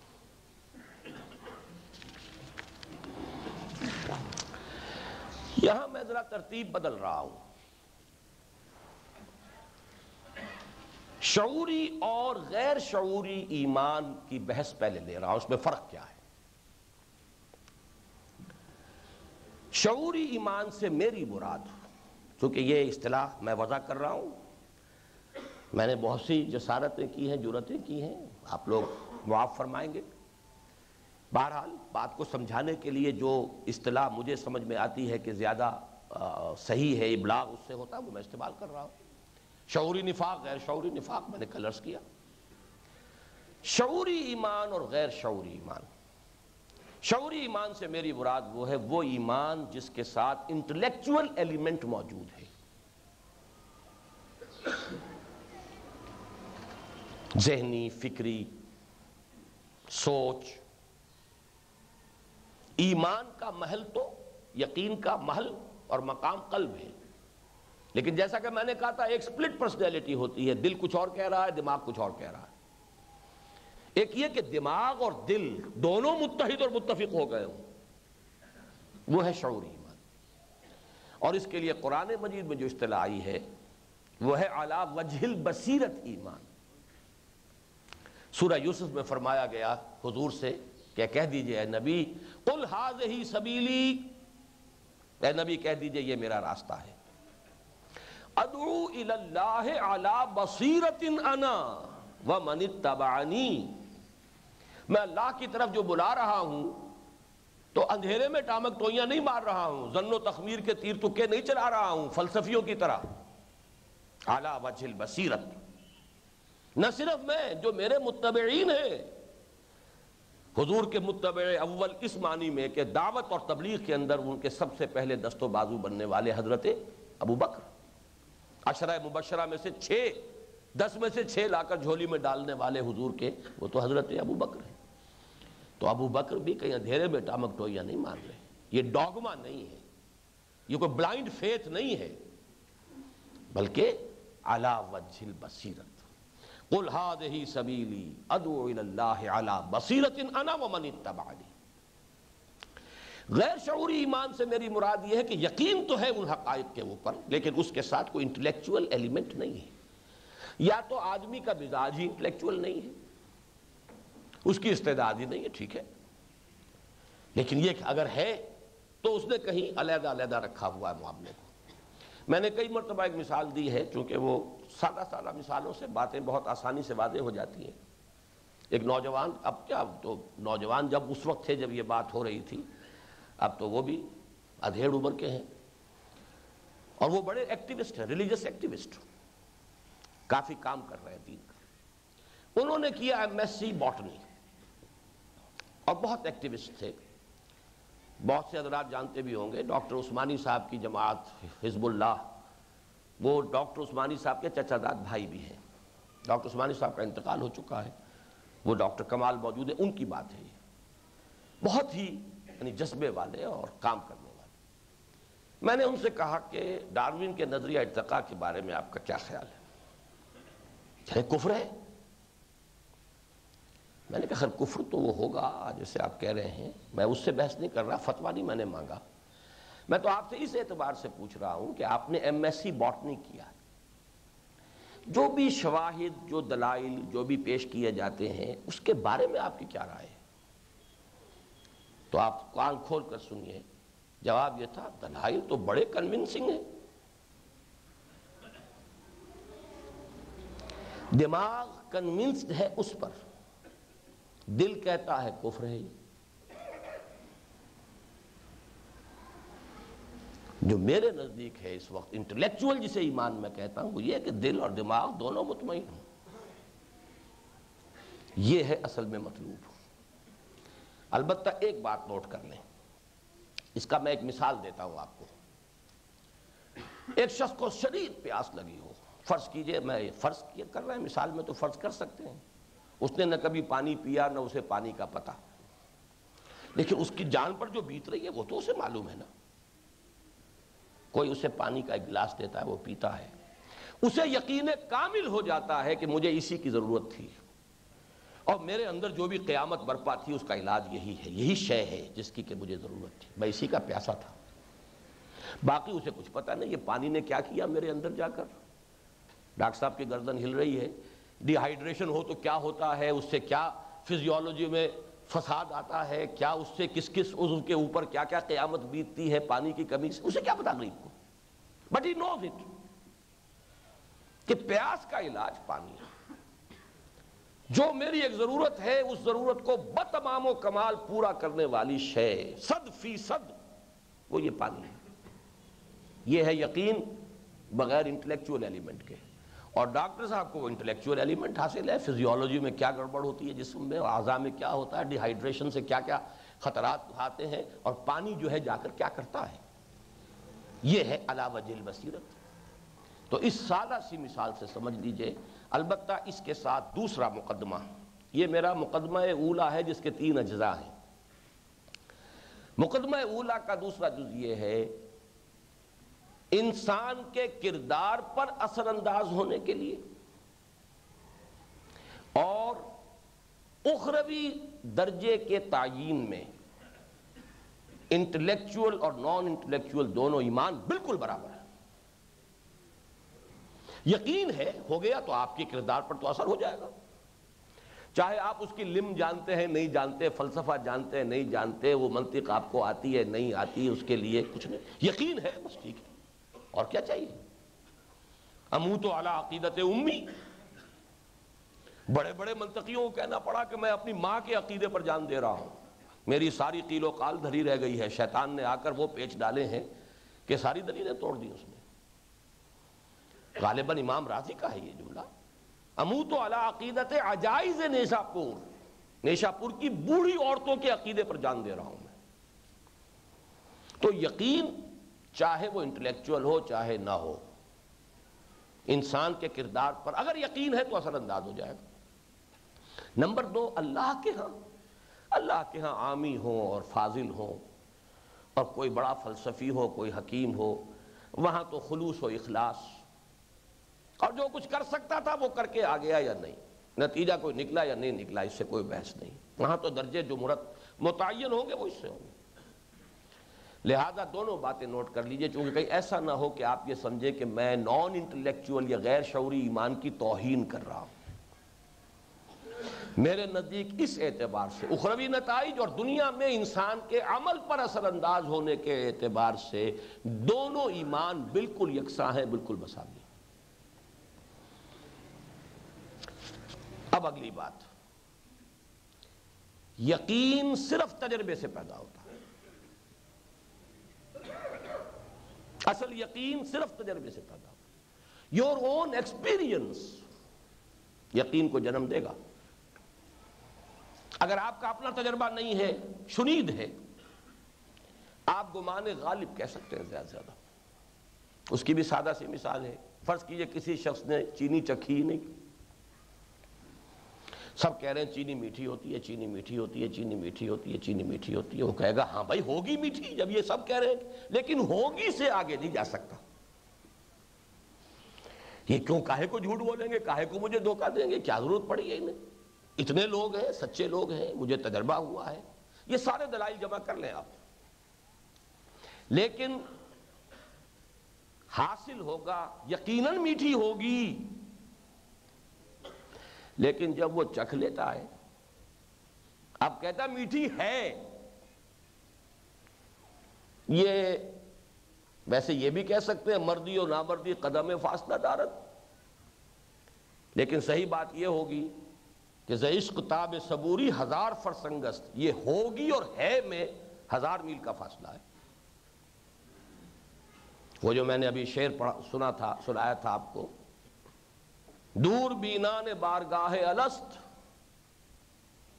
जुज अजी पैन बुरदांद के हस्त। हस्त है।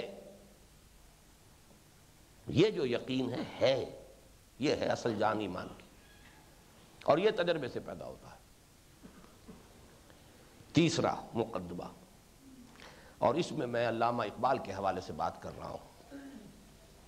रिकंस्ट्रक्शन में उन्होंने बड़ी खूबसूरत बहस की है। तजर्बे को वो भी मानते हैं, तजर्बा ही है, यकीन की बुनियाद। लेकिन तजर्बे की दो किस्में करार दी एक खारजी और ज़ाहरी तजर्बा है, एक बातनी और दाखिली तजर्बा है। एक्सटर्नल एक्सपीरियंस इंटरनल एक्सपीरियंस आपने मीठी, चीनी चखी मीठी है, कैसे हुआ ये? टेस्ट बर्ड्स थे यहाँ पर आपके, हमें मालूम है। सलाहियत थी। उसमें मिठास थी, आप में मिठास को चखने की सलाहियत थी। यकीन वजूद में आ गया। आपने किसी चीज़ को टच किया, गर्म है गर्म है, तजर्बा है आपका। आपने खुद, उसका खुद, उसको छू कर देखा है कि गर्म है। ठंडी है, गर्म है, मीठी है, कड़वी है, ये है, किस लिए आपका तजर्बा है? एक बात नहीं, तजर्बा ये है कि देखना तकरीर की लज्जत के जो उसने कहा, मैंने ये जाना कि गोया ये ही मेरे दिल में गालिब का शेर सुना और झूम गए। क्यों झूम गए भाई? कोई शय अंदर है। अंदर के किसी अंदरूनी तार को छेड़ा है उसने। कोई सिंपैथेटिक वाइब्रेशन हुई है अंदर आपके। बहुत प्यारा शेर है बाहरुल कादरी साहब का मुझे याद आ गया। अल्लाह ताला उनकी मफरत फरमाए। ऐसे कुछ तार भी हैं साज हकीकत में नेहा। छू सकेगा न जिन्हें जख्मा मिजराब हवास। हवास नहीं छू सकते, कुछ ऐसे तार भी हैं। उन तारों को कुछ है छेड़ती है आकर?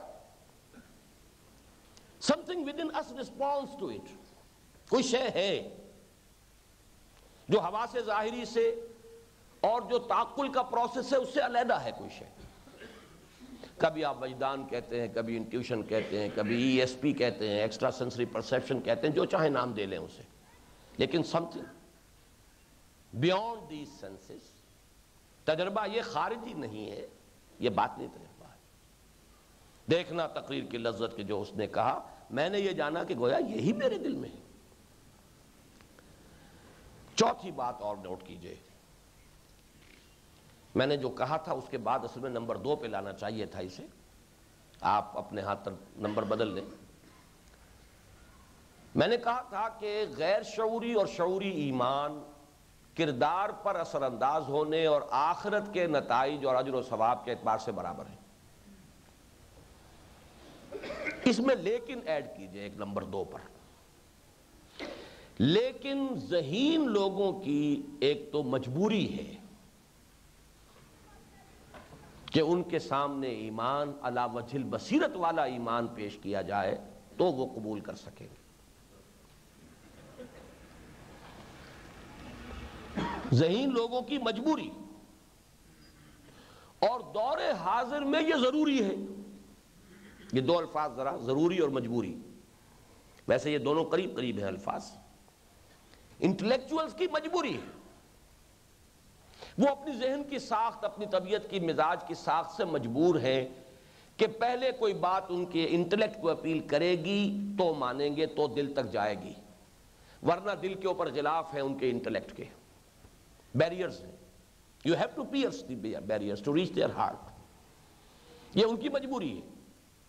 दौरे हाजिर की ज़रूरी क्यों है ये? उसके दो असबाब नोट कर लीजिए। नंबर एक साइंटिफिक इंफॉर्मेशन का इतना बड़ा एक्सप्लोजन हुआ है। ये तो यूँ समझिए, ये सदी जो है, बल्कि पूरी सदी भी नहीं, दरमियान की का निस सदी जो है, इसने जो एक्सप्लोजन एटॉमिक एक्सप्लोजन क्या होगा, जितना मालूम का एक्सप्लोजन हुआ। अब ज़ाहिर बात है कि आप लोग जो हैं अवाम भी कहीं बंद गलियों में तो नहीं रहते।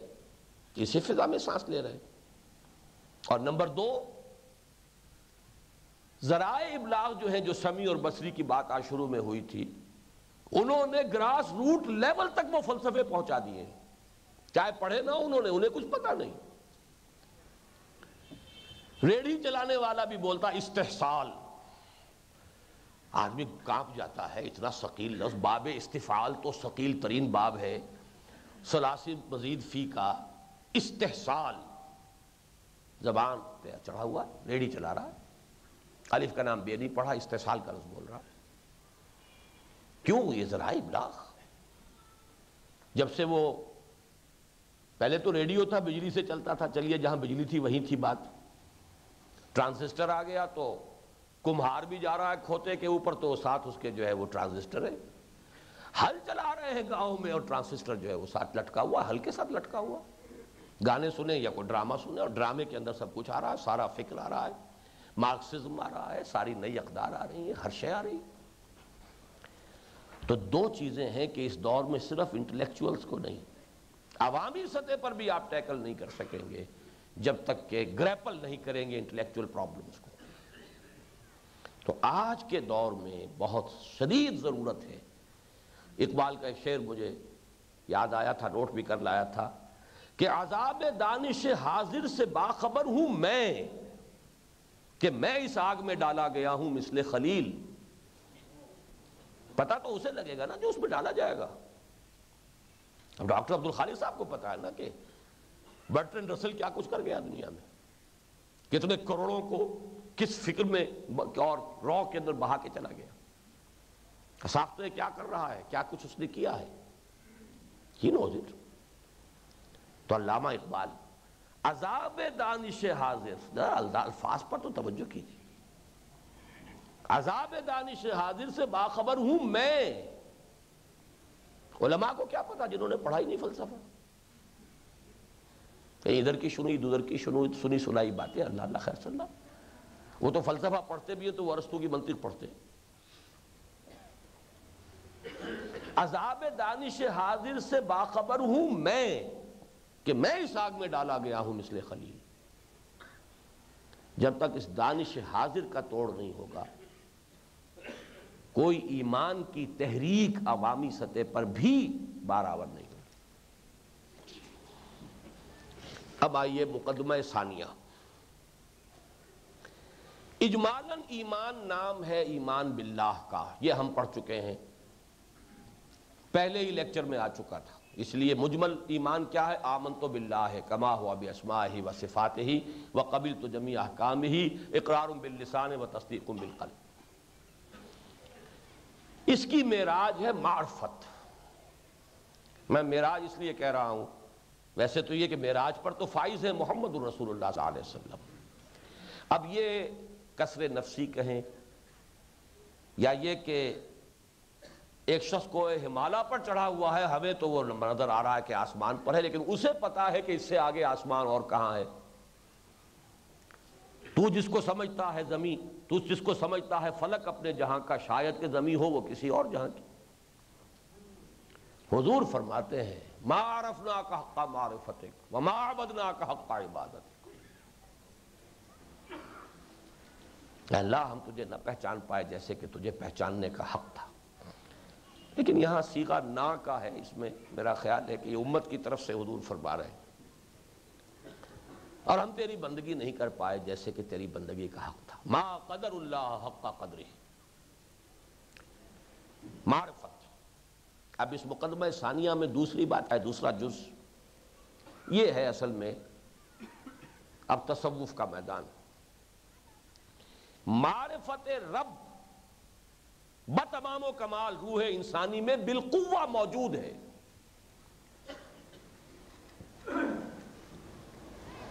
जिस शय का नाम रूह है, जिसका मस्कन ये कल्ब है, वो रूह, उसमें मारफत रब तमाम कमाल मौजूद है। उसका ताल्लुक ज़ात बारी ताला के साथ है। ये तो मैंने वो शेर आपको सुनाया था। इत्तेसाल बेतकयुफ बेकयास, हस्त रबुलनास रा बा जान नास। रूह इंसानी का एक इत्तेसाल है ज़ात बारी ताला के साथ। अगरचे हम इसे कयास नहीं कर सकते किसी शय पर। ला मिसल लहू वला मिसाल लहू वला मसील लहू। ले सकमस ही शय। तो बेतकयुफ बेकयास। ना कयास किया जा सकता है, ना उसकी कैफ कम की बात हम कर सकते हैं। लेकिन है इत्तेसाल। और बड़ा प्यारा शेर है जो मौलाना शबीर अहमद उस्मानी साहब लेकर आए हैं अपने हवाशी में। जान दर जिस्म जान दर जिस्म, ऊ दर जान जान दर जिस्म, ऊ दर जान क्या शेर मैं भूल रहा हूँ? ए जाने जा उसमें खत्म होता है शेर। जाने जा। ये जो हमारी जान है, जान में रूह है। और रूह का ताल्लुक जात बारी ताला के साथ है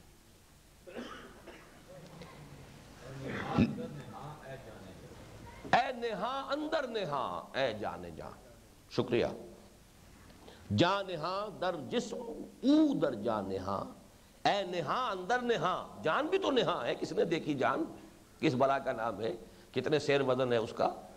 दो मन का, की लाश है, जान कितनी है, कितने आउंस है, रूसियों ने तोली है। ये शायद आपके इल्म में हो कि बड़ी सेंसिटिव उन्होंने बैलेंसेस रखी और जो मरने वाले मरीज़ होते हैं, उनको उसके ऊपर रख दिया। तो एन जो वक्त है जान निकलने का, उससे पहले और उसके बाद तो चंद आउंस कहते हैं कि है उसमें, जान में भी चंद आउंस का वज़न है। ए अंदर नेहा ए जाने जा। बहरहाल जो इस वक्त मैं अर्ज़ कर रहा हूँ वो ये, मारफत रब और सिर्फ़ मारफत रब नहीं, मोहब्बत रब, रूह है इंसानी के अंदर वदियत शुदा है। ये मैंने इब्तदाई फैकल्टीज बयान की थी जिनकी बिना पर हर इंसान मसूल है अल्लाह के यहाँ। चाहे कोई नबी ना आता, सम और बसर, फुआद और अक्ल नेकी और बदी की तमीज़, अल्लाह की मार्फत रूह में और अल्लाह की मोहब्बत रूह में। इसी का नाम नूर फितरत है। यहाँ नोट कर लीजिए, एक लफ्ज हम बोलते हैं जिबिल्लत या तबड़ियत एक बोलते हैं फितरत। फितरत जो है, उसका ताल्लुक रूह के साथ है, जिबिल्लत और तबीयत तभी तकाजा ये है एनिमल इंस्टिंक्ट्स के साथ ताल्लुक। इंस्टिंक्ट्स जिबिल्लत और तभी तकाजे फितरत। फितरतुल्लाती फतरन्नास चुनाचे वो हदीस आज मैंने देखा, मैं तो हैरान रह गया। वो तो हदीस बुखारी की है, मुस्लिम की है। बाकी तमाम किताबों में मौजूद है थोड़े थोड़े से फ़र्क के साथ। माम मौलूदिन फितरा। फ़ाबवाह युहदान ही ओ यु मजसान ही ओ यु नसरान ही ओ यु शर्रे का नहीं ये लफ्ज़ आज मैंने पहली मरतबा पढ़ा है। हवाला देख रहा था।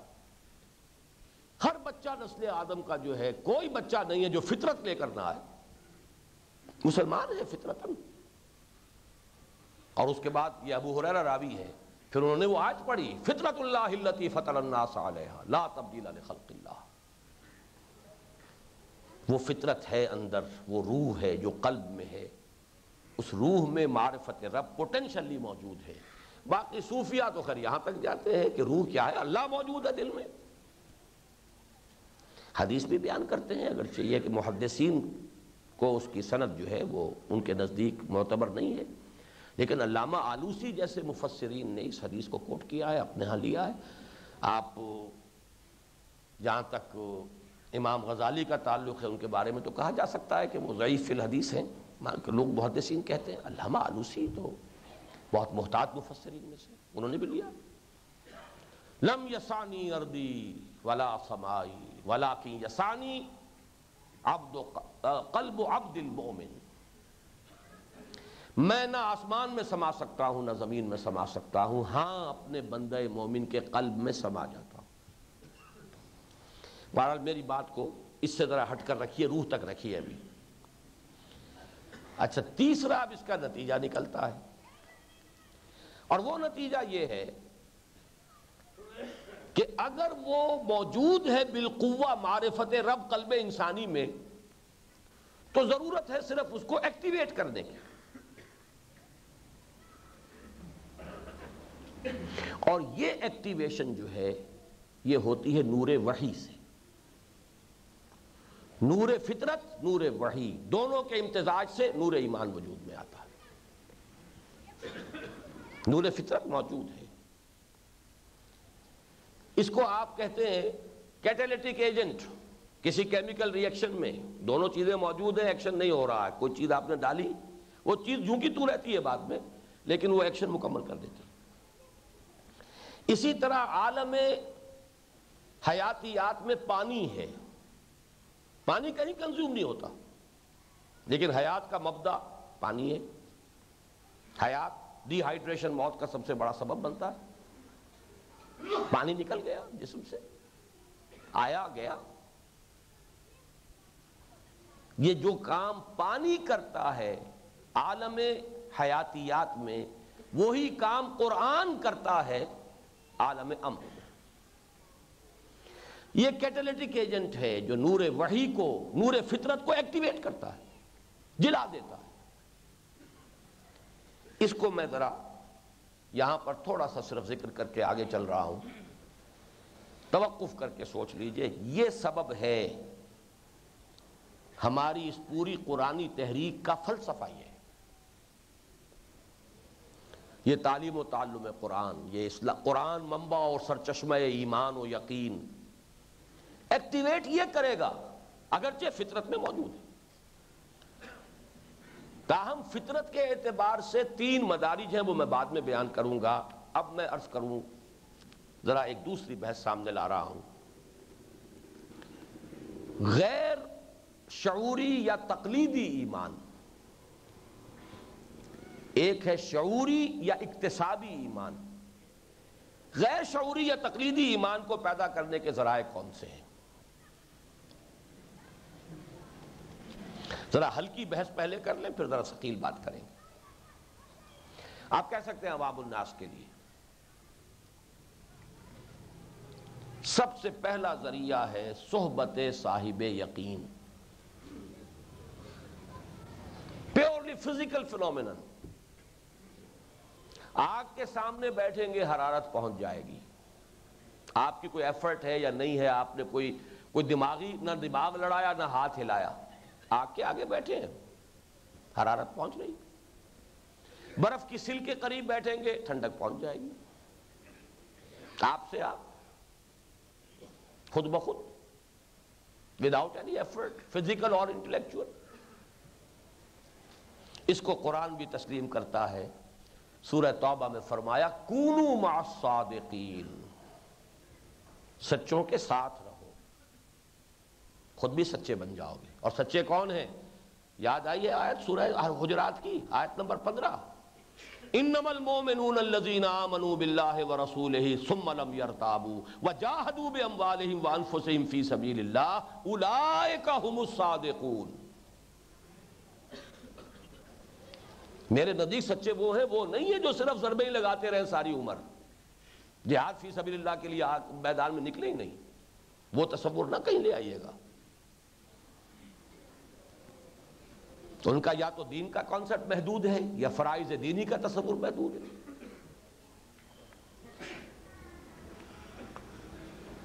तो इकबाल जो कहता है कि निकल कर खानकाहों से अदा कर रस्म शब्बीरी, कि रस्म ही है, फकत अंदोह दिलगिरी। तो मैं तो उस ईमान का कायल हूँ, जो सहाबा का ईमान था। या गुजश्ता सदी में तहरीक शहीदैन के लोगों का ईमान था, सैयद अहमद बरेलवी और तसवुफ भी था उनके अंदर, लेकिन वो तसवुफ और था डायनेमिक तसवुफ था। इसलिए उन्होंने उसको नाम भी दिया था सिलसिला मोहम्मदिया सल्लल्लाहु अलैहि वसल्लम। सिलसिला सोहरवर्दिया सिलसिला चिश्तिया सिलसिला नक्शबंदिया, साबरिया, चलाते जाइए चिश्तिया। सिलसिला मोहम्मदिया, जिसका लाजमी जुज है, जिहाद फ़ी सबील बहरहाल, साहिब यकीन की सोहबत से यकीन पैदा होगा। इजिएस्ट मेथड ये है। ना कोई इंटेलेक्चुअल आपको मेहनत करनी पड़ी और ना ही कोई फ़िज़िकल सिर्फ़ ये कि कुर्ब। दूसरा ज़रिया नॉन इंटेलेक्चुअल तकलीदी ईमान। वो है अमल। यहाँ वो उगता हल हो जाएगा जो सूरह हजरात की आयत नंबर चौदह में था।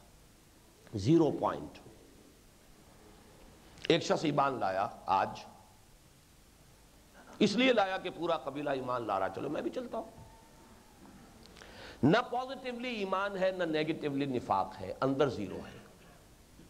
लेकिन अब वो चूँकि बेईमानी, पेश नज़र नहीं थी, धोखा देना नियत में नहीं था। आके पूछते थे बद्दू या मोहम्मद, सल्लल्लाहु अलैहि क्या तकाजे हैं, क्या मतालबे हैं ईमान के? कि पाँच वक्त नमाज़ पढ़ो, ठीक है, पढ़ूँगा। रमज़ान के रोज़े रखो, रखूँगा। अगर इतना माल है, जक़ात दो, ठीक है, दे दूँगा। ज़िंदगी में एक बार तबाज करो, ठीक है, करूँगा। बस। ना मैं इससे ज़्यादा करूँगा, ना कम करूँगा। अब वो वहाँ से चला और उसने फरमाया, किसी को जन्नती देखना हो तो देख ले। ये अमल जो है, ये कोई बांझ अमल नहीं है। बहुत प्रोफाउंड एंड प्रोडक्टिव अमल है। नमाज़ पढ़े और सही पढ़े। उससे ईमान पैदा ना हो, कैसे मुमकिन है? ईमान से अमल साले पैदा होता है, अमल साले से ईमान पैदा होता है। लेकिन थ्रू एक्शन जो ईमान पैदा होगा, वो नॉन इंटेलेक्चुअल होगा, तकलीदी होगा। हम मुसलमान तो इसलिए हो गए कि हमारे वालदेन मुसलमान थे। लेकिन अगर हमने नमाज़ पढ़ी है, अपने रोज़े रखे हैं, इनसे कुछ ना कुछ ईमान किसी दर्जे में वो पैदा हुआ है। चाहे उसका हमें शूर नहीं ना उसका सुगरा कुबरा मालूम, ना उसकी तफासिल मालूम, ना उसके बारे में कोई जहनी जो है, उसकी कोई एक्सरसाइज हमने की है, ना कोई कुर्बानी दी है, लेकिन यह कि अमल से भी ईमान पैदा होता है। चुनाचे सूरह हुजरात में जहाँ वो आयत आई है कालतिल आराब आमन्ना कुल्लम तो मिनू वलाकिन कुलू असलम ना वलम्मा यदखुल ईमान फ़ी कुलूबिकुम। ये आयत नंबर चौदह है, आयत नंबर पंद्रह वो है जिसमें ईमान की कॉम्प्रीहेंसिव डेफिनेशन है, जाम मान तारीफ़। आयत नंबर सत्रह है, बड़ी अजीम आयत। यमुन का नस्लम है नबी, ये आप पर एहसान धर रहे हैं कि इस्लाम ले आए। अल्लाह तमन्नु इस्लाम कह दीजिए, मुझ पर कोई एहसान न धरो अपने इस्लाम का। ईमान इनकुन तुम सादिकी बल्कि अल्लाह एहसान धरता है तुम पर कि उसने तुम्हें ईमान का रास्ता दिखा दिया, उस पर चला दिया है, अगर तुम सच्चे हो। यानी इस्लाम में भी अगर सच्चे हो तो इतात करोगे तो ईमान तक पहुँच जाओगे। अगर इस्लाम में भी झूठे हो तो फिर तो वो माइनस तरफ़ है मामला। फिर तो निफाक है। लेकिन ज़ीरो लेवल है, लेकिन सच्चाई के साथ झूठ नहीं है, नीयत जो है बुरी नहीं है, धोखा देने की नहीं है। ये नहीं है कि बाद में निबट लेंगे। अगर ये है तो अनहदाकुम ईमान। अल्लाह ने तुम्हें उस सड़क पर डाल दिया है जो ईमान तक ले जाने वाली है। अनहदाकुम ईमान, इन कुन तुम स्वादिकीन अगर तुम इस्लाम में भी सच्चे हो, इसके नतीजे में ईमान पैदा हो जाए। अच्छा यहाँ मैं चंद बातें अर्ज़ कर रहा हूँ। यह जो अमल से ईमान और सोहबत साहिब यकीन से ईमान नतीजा नॉन इंटेलेक्चुअल गैर शौरी ईमान। लेकिन अवामनास की अक्सरियत ख़ास तौर पर कदीम ज़माने में, उसके लिए यह किफ़ायत करता था। आज का एक्सप्लोजन वाला मामला मैं अलहदा बयान कर चुका हूँ। दर हकीकत यही तरीके दो थे जो हमारे सूफिया इस्तेमाल करते रहे। सोहबत बैत इरशाद में सबसे पहली शह सोहबत है। बहुत याद आया है इस वक्त, दीपालपुर में एक बुज़ुर्ग होते थे थे वो अनपढ़, साईं अब्दुल रजाक साहब। बड़े प्यारे जुमले उनके होते थे, मैं कभी कभी जाता था उनके पास, नक्शबंदिया सिलसिले के बुज़ुर्ग थे। और इतने सख्त वहाबी थे कि नमाज़ जो जोहर की पढ़ते थे, जैसे ही नहार इधर से इधर हुआ और नमाज़ पढ़ लेते और मैं आज तक नहीं भूला हूँ, जब ज़िक्र जहरी वो करते थे, उसकी लज्जत मैंने बहुत महसूस की। उनके एक जुमला तो मैं पहले सुनाता रहा हूँ बहुत, आज वो भी सुना दूँ। ईमान और कुफर की एक डेफिनेशन ये भी है। वो थे हमारे इलाके के रोहतक हिसार के रांगड़। वो कहा करते थे, जो दम गाफिल, सो दम काफिर। कुफर और ईमान की एक डेफिनेशन ये भी है। जो दम गाफिल, सो दम काफिर और दूसरा जुमला जिसकी वजह से वो भी याद आए हैं, अल्लाह ताला अपनी रहमत नादिल फरमाए उन पर सोहबत फराइज राखी। ये वो जमा का लफ्ज इस्तेमाल करते थे, फराइज, फ़र्ज़ का। सोहबत फराइज राखी। सोहबत जो है वो फ़र्ज़ रखी गई है, सोहबत। सोहबत साहिब यकीन, कुर्ब। फिर हमारे सूफिया ने भारी रियाजतें और मुशक्क़तें, मुराकबे, अशगाल और बुरा ना माने तो लफ्ज इस्तेमाल करो तो पस्या, चिल्ले, ये सब कुछ क्या है? अमल ही है ना। अमल की शिद्दत, भारी मुशक्कत, रियाजत, रटे जाओ ना अमल्ला का इस सब के नतीजे में ये अमल और सोहबत इसके नतीजे में ईमान पैदा होता है। आज के दौर में इस मेथोडोलॉजी को बहुत बड़े पैमाने पर अडॉप्ट किया है तबलीगी जमात ने। चुनाचे आज से तेईस, चौबीस बरस कबल की तहरीर है। मेरी वो इस्लाम की नशत सानियाँ लेकर आया था, लेकिन यह कि वक्त नहीं है कि मैं वो पढ़ के सुनाऊँ आपको, वरना असल बहस रह जाएगी। उस वक्त भी जहाँ मैंने जो रिवाइवलिस्ट तहरीकें हैं इस दौर की, जमात इस्लामी इखवानमसलिमून वगैरह, उनके बारे में यह तनकीद की है कि इन्होंने ईमान को जितना एम्फेसाइज करना चाहिए था, नहीं किया इस्लाम पर ज़ोर है, हरकत पर ज़ोर है जिद्दोजहद पर ज़ोर है, लेकिन जितना ईमान पर देना चाहिए था नहीं दिया वहाँ मैंने तस्लीम किया है कि तबलीगी जमात ने ईमान को मौजू बनाया है। पहले भी कह चुका हूँ, ईमान की मेहनत, एक इस्तेलाह वजह की है उन्होंने, ईमान की मेहनत। निकलो चालीस दिन, चलो हमारे साथ। रहो मस्जिद के माहौल में। चालीस दिन तो कोई नमाज़ तुम्हारी फौत नहीं होगी। तकबीर उला के साथ पढ़ोगे। कोई और बकवास तो नहीं सुनने को मिलेगी। कोई रेडियो, टेलीविज़न तो तुम्हारे कानों तक नहीं पहुंचेगा, आँखों तक नहीं पहुंचेगा। ये चलती फिरती तरबियत गाहें हैं। चलती फिरती खानकाहें। फिर यह कि उसमें अमल है, असकार है, दुआएँ हैं, दुआएँ मसनूना है। उठते, बैठते, खाना खाते, ये अमल through action faith through action ये मेथोडोलॉजी बहुत बड़े पैमाने पर इस दौर में तबलीगी जमात में इस्तेमाल की। मैं मानता हूँ इसको। लेकिन शॉर्ट कमिंग क्या है, वो भी इसी में है। इट्स एब्सोल्यूटली नॉन इंटेलेक्चुअल इसमें फ़िक्र, जहन, सोच, इससे कोई सरोकार नहीं। अगर आप सवाल भी करेंगे तो बस फ़ौरन बंद। कुरान का भी तर्जुमा मत पढ़ो। बस कुरान की तिलावत करो सवाब लो। ये मेरा है वहाँ से पॉइंट ऑफ़ डिपार्चर वो तो खैर कई बातें हैं। इस वक्त चूँकि मैं कह रहा था कि वो काम जो सूफियाए किराम पहले करते थे स्टेशनरी किस्म की वो तरबियत गाहों, खानकाहों के ज़रिए से ये चलती फिरती तरबियत गाहें ईजाद की हैं। वो शेर याद आया है मुझे, हफीज जालंदरी का।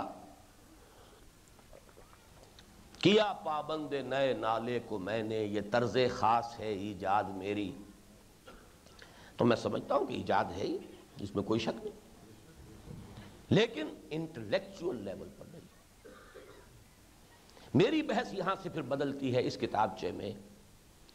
इंसान चाहे सब सब इंटेलेक्चुअल नहीं होते।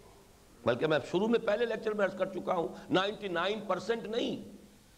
यानी एक करोड़ में एक होता है वो शख्स के जो वाक्य चाहता है कि I must know the truth for myself I am not going to take anything for granted to believe in anything only because my parents believe in them ये तो करोड़ में एक होता। लेकिन इंसान पैरवी इन्हीं की करते हैं। चाहे एक ही गौतम बुद्धा आज अरबों आदमी, करोड़ों लोग जो है उसके मानने वाले। लिहाजा बहसियत मजमू इंसान के ऊपर हैवान आकिल का लफ्ज अगर चस्पा किया जाए तो गलत नहीं है। अगरचे अक्सर वो हैवान आकिल नहीं है। मुकलद मिजाज, तकलीदी मिजाज। लेकिन तकलीदी ईमान भी हासिल हो सकता है इस ज़रिए से। ये जो रियाजतें हैं, मुशक्क़तें हैं, इनको आप साइकोलॉजिकल एक्सरसाइजेस भी कह सकते हैं। ये ज़िक्र की कसरत जो है, ये एक ऑटो सजेशन के दर्जे में भी आ सकती है। ये सारी टेक्निक्स आज भी इस्तेमाल होती हैं। तहलील नफसी है सजेशन है, ये सारी चीज़ें इस्तेमाल होती यहाँ मैं एक ख्याल इसमें ज़ाहिर करके फिर आगे चलूँगा। और वो ये है कि अल्लामा इकबाल का मैं इस मसले में भी बहुत कायल और मोतरफ और उनसे मुतफिक हूँ। रिकन्स्ट्रक्शन में उन्होंने कहा है, आज का इंसान उतनी शदीद मुशक्क़तों का मुतहमल नहीं है जितना कि पिछले ज़माने का इंसान था। बड़ी प्रैग्मेटिक बड़ी रियलिस्टिक बात है। आसानियों के आदि हो गए, आसाइशों के आदि हो गए, जिंदगियों में वो मुशक्क़तें नहीं रही। अब वो तपस्याएँ साल हा साल तक जंगलों की सैर हो रही। जो गौतम बुद्ध ने किया होगा, जो हमारे सूफिया करते रहे, अगर उनके तस्करे जो भी हैं, छपे हुए, सही हैं तो यही कुछ तो है। चालीस बरस लग गए, पचास बरस लग गए। आज का इंसान लिहाजा अल्लामा ने यह कहा है कि आज के लिए कोई और टेक्निक्स ईजाद करनी होगी। वो मैं अर्ज़ कर दूँगा कि मेरे नज़दीक वो क्या है। लेकिन यह कि मेरे नज़दीक अल्लामा की ये बात सद फ़ीसद दुरुस्त वो बोझ, वो मुशक्क़तें जो कराते थे, अल्लाह अल्लाह। वाक़ यह है कि पढ़कर आदमी जो है काँप जाता है। कि अगर ईमान का हसूल इन तमाम चीज़ों पर मुनहसर है तो बड़ा कठिन है ईमान। अब आइए। मैं फिर रिवर्ट कर रहा हूँ अपनी उस बात की तरफ़ कि ईमान का लुबे लुबाब मारफत रब। ईमान का खुलासा ईमान बिल्लाह ईमान बिल्लाह का लुबे लुबाब मारफत रब। मारफत रब कल्ब में, यानी रूह इंसानी में मौजूद है। इंसान को अल्लाह ने ज़ाहरी बसारत और समात दी है, इस दिल में भी बहुत सी फैकल्टीज रखी है। सिर्फ़ ज़रूरत है एक्टिवेशन की। जो चीज़ पोटेंशियल है, उसे बिलफेल लाना है, वजूद में लाना है। अब इसका मैं तफसीर अर्ज़ कर रहा हूँ बस एक सफ़ाई मेरा रह गया है ये उम्मीद है मैं फारिग हो जाऊँगा। दो घंटे से कम में, डेढ़ घंटा तो हो गया है, लेकिन मैं दो घंटे से कम में फारिग हो जाऊँगा इंशा आईना कल्ब या नूर फितरत की कैफियात या दर्जात यहाँ फिर वही अल्फाज रिपीट कर रहा हूँ जो पहले मैंने रिपीट किए। ईमान के दर्जे उतने ही हैं जितने के इंसान है। और जैसे कहा जाता है कि वसूल अल्लाह के तरीके अल्लाह की तरफ़ जाने के रास्ते उतने ही हैं जितने के इंसान हैं। हर एक की अपनी एक तबीयत है, अपना एक मिजाज है। दो इंसान एक जैसे नहीं है, इंसान एक जैसे क्या होंगे? अंगूठों के निशान एक जैसे नहीं। हर इंसान की अपनी एक तबीयत है, अपना मिजाज है। तो ज़ाहिर बात है उससे तो उसकी तबीयत के मिजाज से ही कोई रास्ता मिलेगा। इसी तरह ये आईना कल्ब या नूर फितरत, इसके एतबार से भी इंसान, जितने इंसान है, उतने ही दर्जे होंगे। लेकिन बगरज तफहीम में तीन हिस्सों में तकसीम कर रहा हूँ। एक ऐसा शख्स जिसकी फितरत साले है, फितरत सालेहा, या जिसके लिए एक दूसरा लफ्ज बड़ा प्यारा है फितरत सलीमा,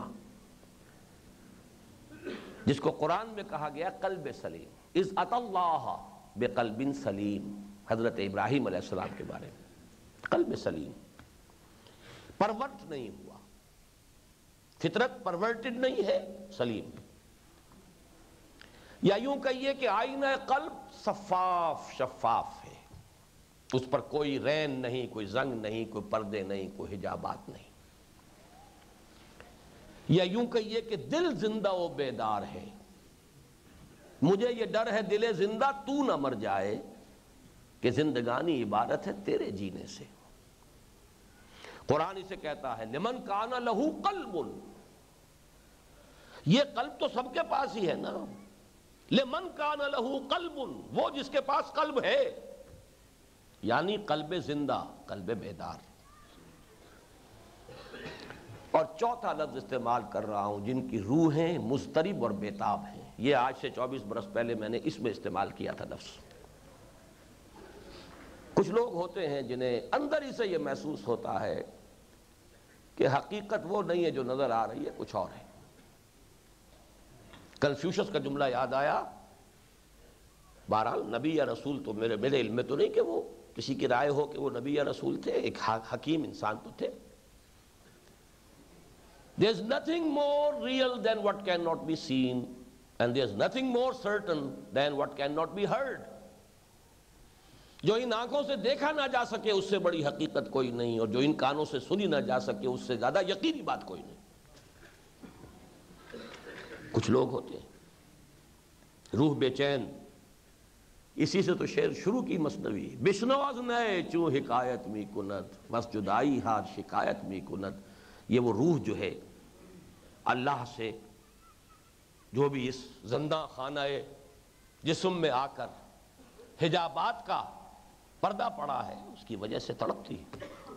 चार अल्फाज नोट कर लीजिए वक्त कम है। फितरत सलीमा आईना कल्ब साफ़ शफाफ, दिल ज़िंदा बेदार, रूह बेताब। ऐसे लोगों के सामने जैसे ही नूर वही आता है, ऐसे लपक कर कबूल करते हैं कि जैसे बेताब थे इसी शय के लिए। इंस्टेंटेनियस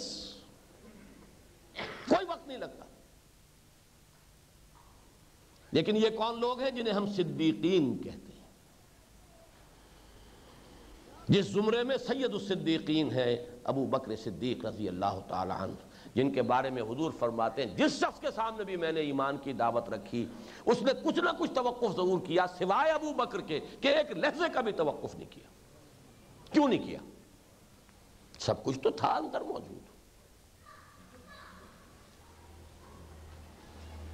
सिर्फ़ यह है कि एक्सप्रेशन उसे दिया है मोहम्मद रसूलुल्लाह अंदर तो था वो नूर, लेकिन उसको भड़का दिया है। अब देखिए, मैं उसकी तमसील बाद में दूँगा अभी। सूरह नूर की जो आयत नूर है, आयत नंबर पैंतीस, उसमें इस ईमान का तस्करा है। अल्लाह नूर समावात आसमानों और ज़मीन का नूर अल्लाह है। क्या मानी? आसमान और ज़मीन की कुल हकीकतें अगर खुलेंगी तो अल्लाह को मानने से कलीद ये है जैसे मैंने अर्ज़ किया था, अभी यहाँ पर अंधेरा हो जाए, बेचैन हो जाएँगे आप। रोशनी जो है, वो ज़रिया बनती है जहूर अशिया का। तो जहूर हकाइक का ज़रिया ईमान बिल्ला है। मसल नूर ही कमिशकातिन फ़िहा मिसबाह अलमिसबाह फ़ी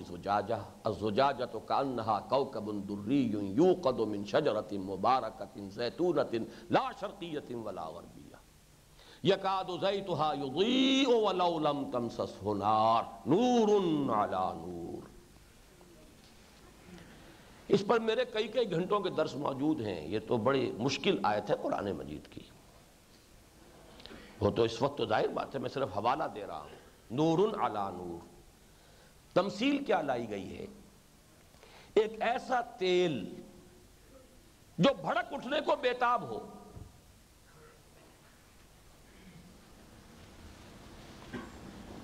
अब चूँकि कुरान नाजिल हुआ चौदह सौ बरस पहले, पेट्रोल तो था नहीं, उस वक्त तस्वुर नहीं था। मिसाल दी गई है जैतून का ऐसा तेल, ऐसे दरख्त का, जो ना शर्की है, ना गरबी है, किसी तरफ़ से महजूब नहीं। शर्की है तो मगरिब की धूप नहीं मिलेगी, गरबी है तो सुबह की धूप नहीं मिलेगी। किसी तरफ़ से ओट में नहीं है। उसका जो रोगन है नहायत साफ़ और शफाफ होता था। और गोया के भड़क उठने को बेताब। यकादो जैतुहा युदी करीब है उसका रोगन के भड़क उठे, रोशन हो जाए। वलम तम ससनार चाहे उसे आग ने छुआ भी ना हो। और आग छू ले नूर नूर। वो नूर फितरत, इतना साफ़, इतना शफाफ, भड़क उठने को बेताब। नगमे बेताब है तारों से निकलने के लिए। एक जरा छेड़ तो दे जख्म मिजराब हयात। ये सिद्दीकीन की कैफियत ये होती फितरत सलीमा, कल्ब शफाफ, रूह बेदार, कल्ब ज़िंदा, आईना कल्ब। जैसे ही आया, आगे नूरे वही जगमगा उठा। नूर अला नूर यहदिल्लाह नूर ही मैशा वयदरबुल्लासास वल्लाह बिकुल ये गोया के नूर ईमान के दो अज्जा नूर फितरत, नूर वही। नूर अला नूर नूर पर नूर। एक अंदर नूर है, नूर फितरत। बशर्ते के पर्दे ना पड़ गए हो, रैन ना हो गया हो, हिजाबात ना आ गए हो, फितरत मस्क ना हो गई हो। वो दूसरे। अगर वो चार अल्फाज फितरत सलीमा या सालेहा, आईना साफ़ शफाफ, आईना कल्ब, दिल ज़िंदा बेदार और रूह बेताब। बेताबी वो है, नगमे बेताब है तारों से निकलने के लिए। जैसे ही कुरान सामने आएगा, ऐसे मालूम होगा कि देखना तकरीर की लज्जत के, जो उसने कहा, मैंने ये जाना कि गोया यही मेरे दिल में यही है वो बातनी तजर्बा। कुरान को पढ़ते हुए मुझे याद आया एक रह जाती बात इब्न तैमिया रहमहुल्ला का ज़िक्र कई मरतबा हुआ। उनके एक शागिद का तस्करा इब्न कसीर रहमहुल्ला का कर हुआ था या परसों हुआ था। आज इब्न कय्यम का एक जुमला सुन लीजिए, उनके दूसरे शागिर्द। ये है ज़रा सूफी मिजाज शागिर्द। इनसे जो है, हमारे अहले हदीस भाई जो है इनसे भागते हैं। अलबत्ता इब्न कसीर रहमाउल्लाह के वो बहुत मोतकी ये मिजाज मिजाज की बात है अपना अपना एक। शागिर्द दोनों एक ही के हैं। इब्न कय्यम रहमाउल्लाह की एक किताब है अलफवाइद। वो कोई तफसीर नहीं है, लेकिन जैसे वारदात होती है, आदमी पढ़ता जा रहा है, किसी एक जगह पर कोई ख़ास ख्याल आ गया, उसे लिख लिया। आगे जाके कहीं किसी और चीज़ पे कोई ख्याल आया, लिख लिया। कुछ मुतसलसल से नहीं, अल्फवाइद। उसमें एक जुमला पढ़कर मैं हैरान रह गया। वो सूरह काफ की इस आयत के हवाले से इन नफीजा का जिक्रा। ले का न लहू कलबुन, औ अलकसम हुआ शहीद अब यहाँ पे हर्फ आया औ। वाव नहीं है। हरफ अतफ नहीं है, औ है। ये दो सूरतें हैं ईमान की तहसील की। अगर तो कल्ब है, यानी ज़िंदा बेदार तो इंस्टेंटेनियस होता है। रसाई जो है ईमान तक, कुरान के ज़रिए से, और जुमला जो मुझे याद आया था जिसके हवाले से उनकी याद आई है, वो ये कि कुछ लोग ऐसे हैं, होते हैं, कि वो जब कुरान को पढ़ते हैं तो यूँ महसूस करते हैं कि कुरान मुसफ़ में लिखा हुआ नहीं है, उनके अपने लोहे कल्ब पर लिखा हुआ है। इतनी कामिल मुताबिकत अपनी फितरत और कुरान के अंदर महसूस करते मैंने लफ्ज इस्तेमाल किया था sympathetic vibration as if it is return on their own hearts वहाँ से पढ़ रहे हैं मुसफ से नहीं पढ़ रहे, अपनी किताबें दिल से पढ़ रहे एक लोहे महफूज वहाँ है और एक लोहे कल्ब भी है। ये है उन लोगों का मामला जैसा कि मैंने अर्ज़ किया, जिनकी फितरत शफाफ, सलीम, सिद्दीकीन का ईमान। अब आया दूसरा दर्जा। ये दरमियानी दर्जा है, कुछ हिजाबात हैं, पर्दे पड़े हुए हैं। कुछ जंग आ गया है। दिल तो है, लेकिन उसके ऊपर पर्दे पड़ गए। आईना तो है, ऊपर गर्दा है। महजूब, इसीलिए तो मुझे शेख अली हजवरी रहमत की किताब से बड़ा प्यार है। कशफुल महजूब महजूब है, हिजाब में आ गया। उसे हटाना है जरा। वक्त नहीं है, वरना मैं जो पहली बात थी उसके हवाले से मैं अर्ज़ करता, बल्कि ये बाद में कर लूँगा, चलिए। दोनों बातें पहले आ जाएँ।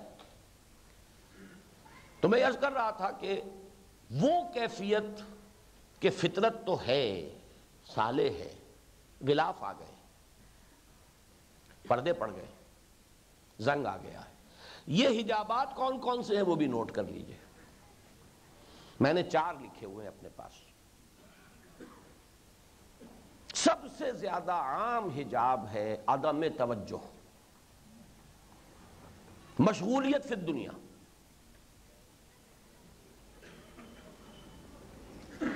और ये किन में ज़्यादा होती है? एक्सट्रोवर्ट्स।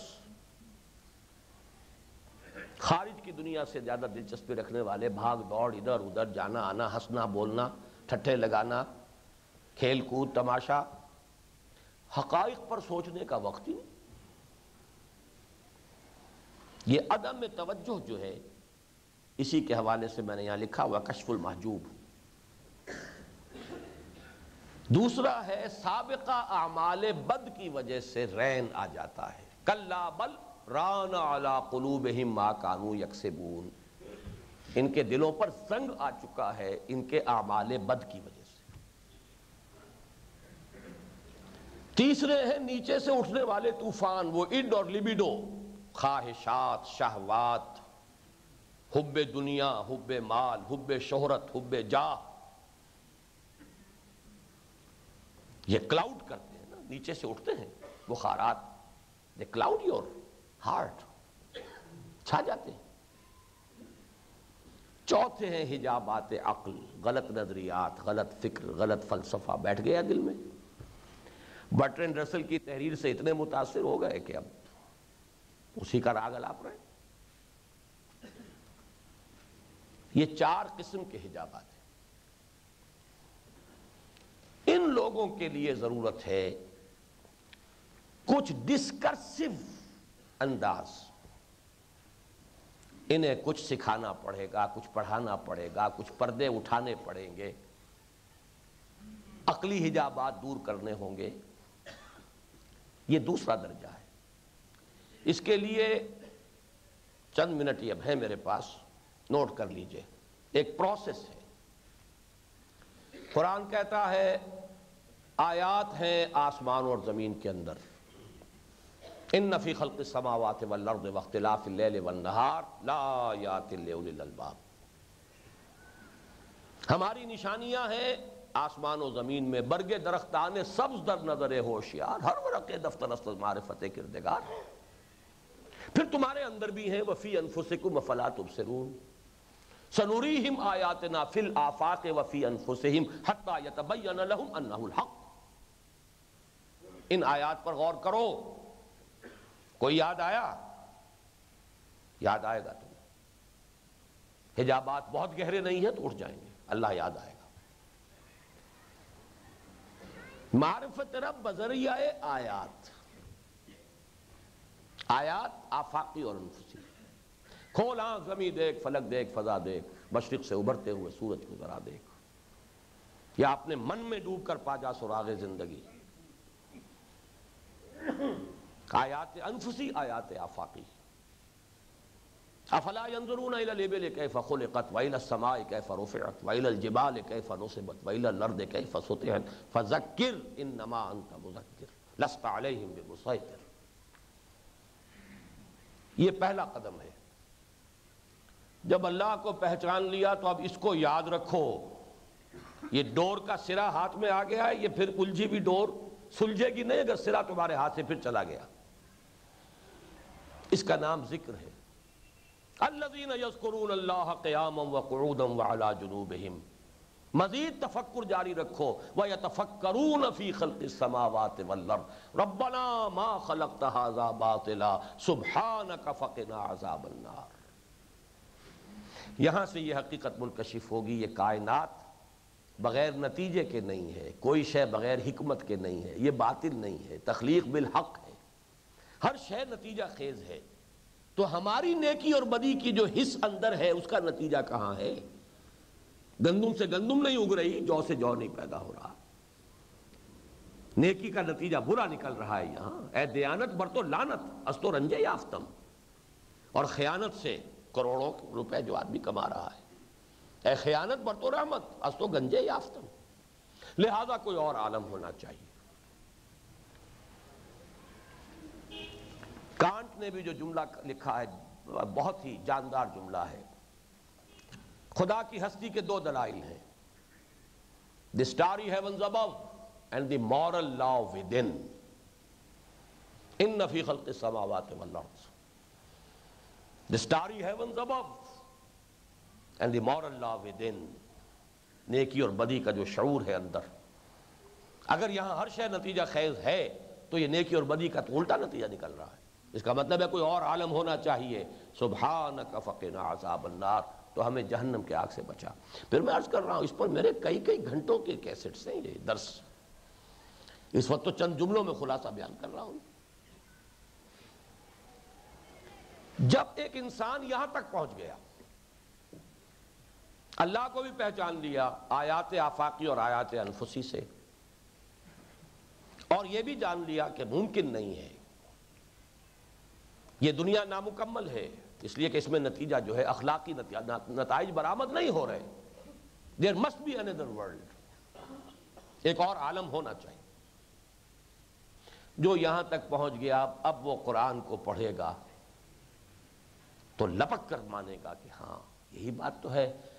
रब्बना इन्ना समेना मुनादी लीमान अन आमिनू फामन इसको शेखुल हिंद रहमत ने बड़ी खूबसूरत ताबीर की है। ये सूरह आल इमरान का आखिरी रुकू है। उसकी इब्तदाई छः आयतें हैं। जाके देख लीजिएगा, मेरे कैसेट से मुफसर इन पर। कि एक है अकली ईमान। अकली ईमान में पहले अल्लाह की मार्फत, फिर आखरत की मार्फत। दूसरा ईमान समी है। रब्बना इन्ना समेना मुनादी युनादी ईमान। इन दोनों से ईमान मुकम्मल हो गया। लेकिन ज़रा दर्जा बदर्जा हुआ है। ये वो इंस्टेंटेनियस नहीं है। जिनकी फितरत बिल्कुल साफ़ शफाफ थी, उन्हें वक्त नहीं लगता। लेकिन जिन लोगों के पर्दे आए हुए थे, पर्दे उठाने के लिए कुछ मेहनत करनी पड़ेगी, कुछ समझाना होगा, कुछ सिखाना होगा, कुछ पढ़ाना होगा कुछ मुंगली पकड़कर चलाना होगा। इन नफी खल के समावत वर्द वन्नहार लायातिल्लबाब अल्लज़ीन यस्कुरून व यतफक्करून फ़ी खल्क समावात वल्लर्द रब्बना मा खलक हाज़ा बातिला। सुब्हानक फ़क़िना अज़ाबन नार रब्बना इन्ना कमन तुदखिलन्नार फ़कत अखज़ैता वमालिमीन मिन अंसार रब्बना इन्नना समिअना मुनादियन युनादी लिल ईमान बिरब्बिकुम फ़आमन्ना रब्बना फ़ग़फिर लना ज़ुनूबना व कफ़िर अन्ना सय्यिआतिना व तवफ़्फ़ना मअल अबरार जो अल्फाज आए हैं उसके हवाले से मैंने जो अल्लामा इकबाल की बात कही थी कि मैं बाद में अर्ज़ करूँगा अलामा ने कहा था कि आज के दौर में इंसान उतनी मुशक्क़त का मुतहमल नहीं हो सकता जितनी के सबका दौर में खानकाही रियाजतें कराई जाती थी। हमें कुछ और नस्बता आसान और हल्का कोई मेथड इख्तियार करना होगा। बस यहाँ तक कहा उन्होंने, आगे कोई तजवीज़ नहीं किया। लेकिन ज़ाहिर बात है कि जैसे वो प्री अम्बल में उन्होंने खुद कहा है, मुकदमे में, कि गौर फ़िक्र जारी रहना चाहिए। आगे भी कदम बढ़ सकता है।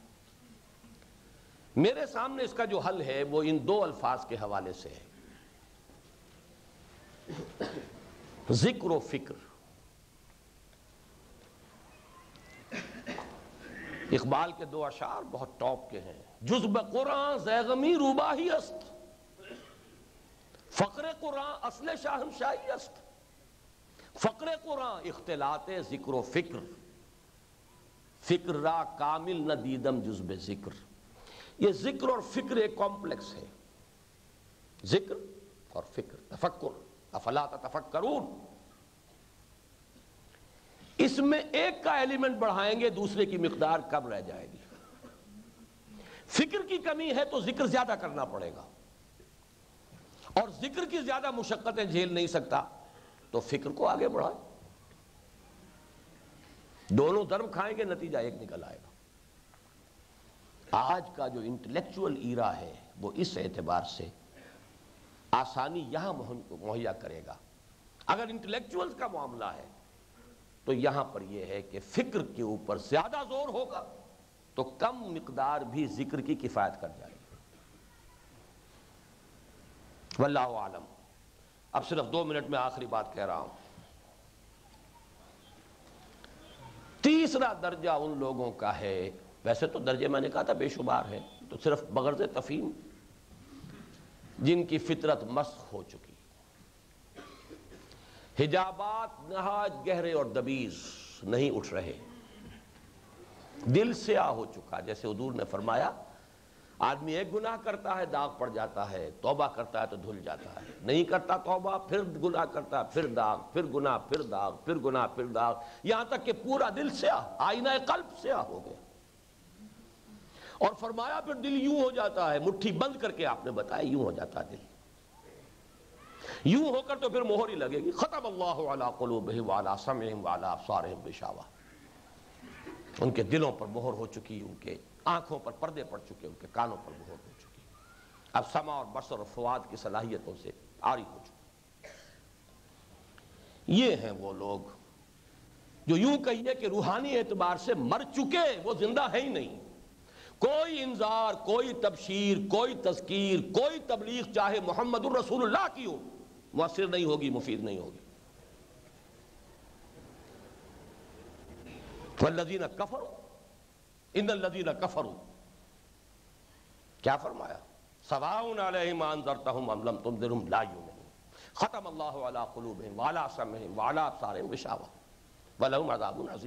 तो ही हैं कर रहा था, बैन ही यही आयत है, सिर्फ़ वाव का इजाफा है। वह सवाउन अलैहिमान जरतहुम अमलम तुम दिरुम लायू मिन में। सुरह यासीन की आयत नंबर दस। और इसको कुरान क्या कहता है? दूसरी ताबीर, ये मुर्दा है, ज़िंदा है ही नहीं। इनकी इंसानियत मर चुकी रूह दफन हो चुकी है।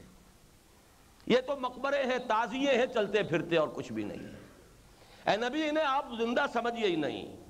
फरमाया सूरह यासीन में, ले युन जरा मन काना हयन व यह कौल काफरीन।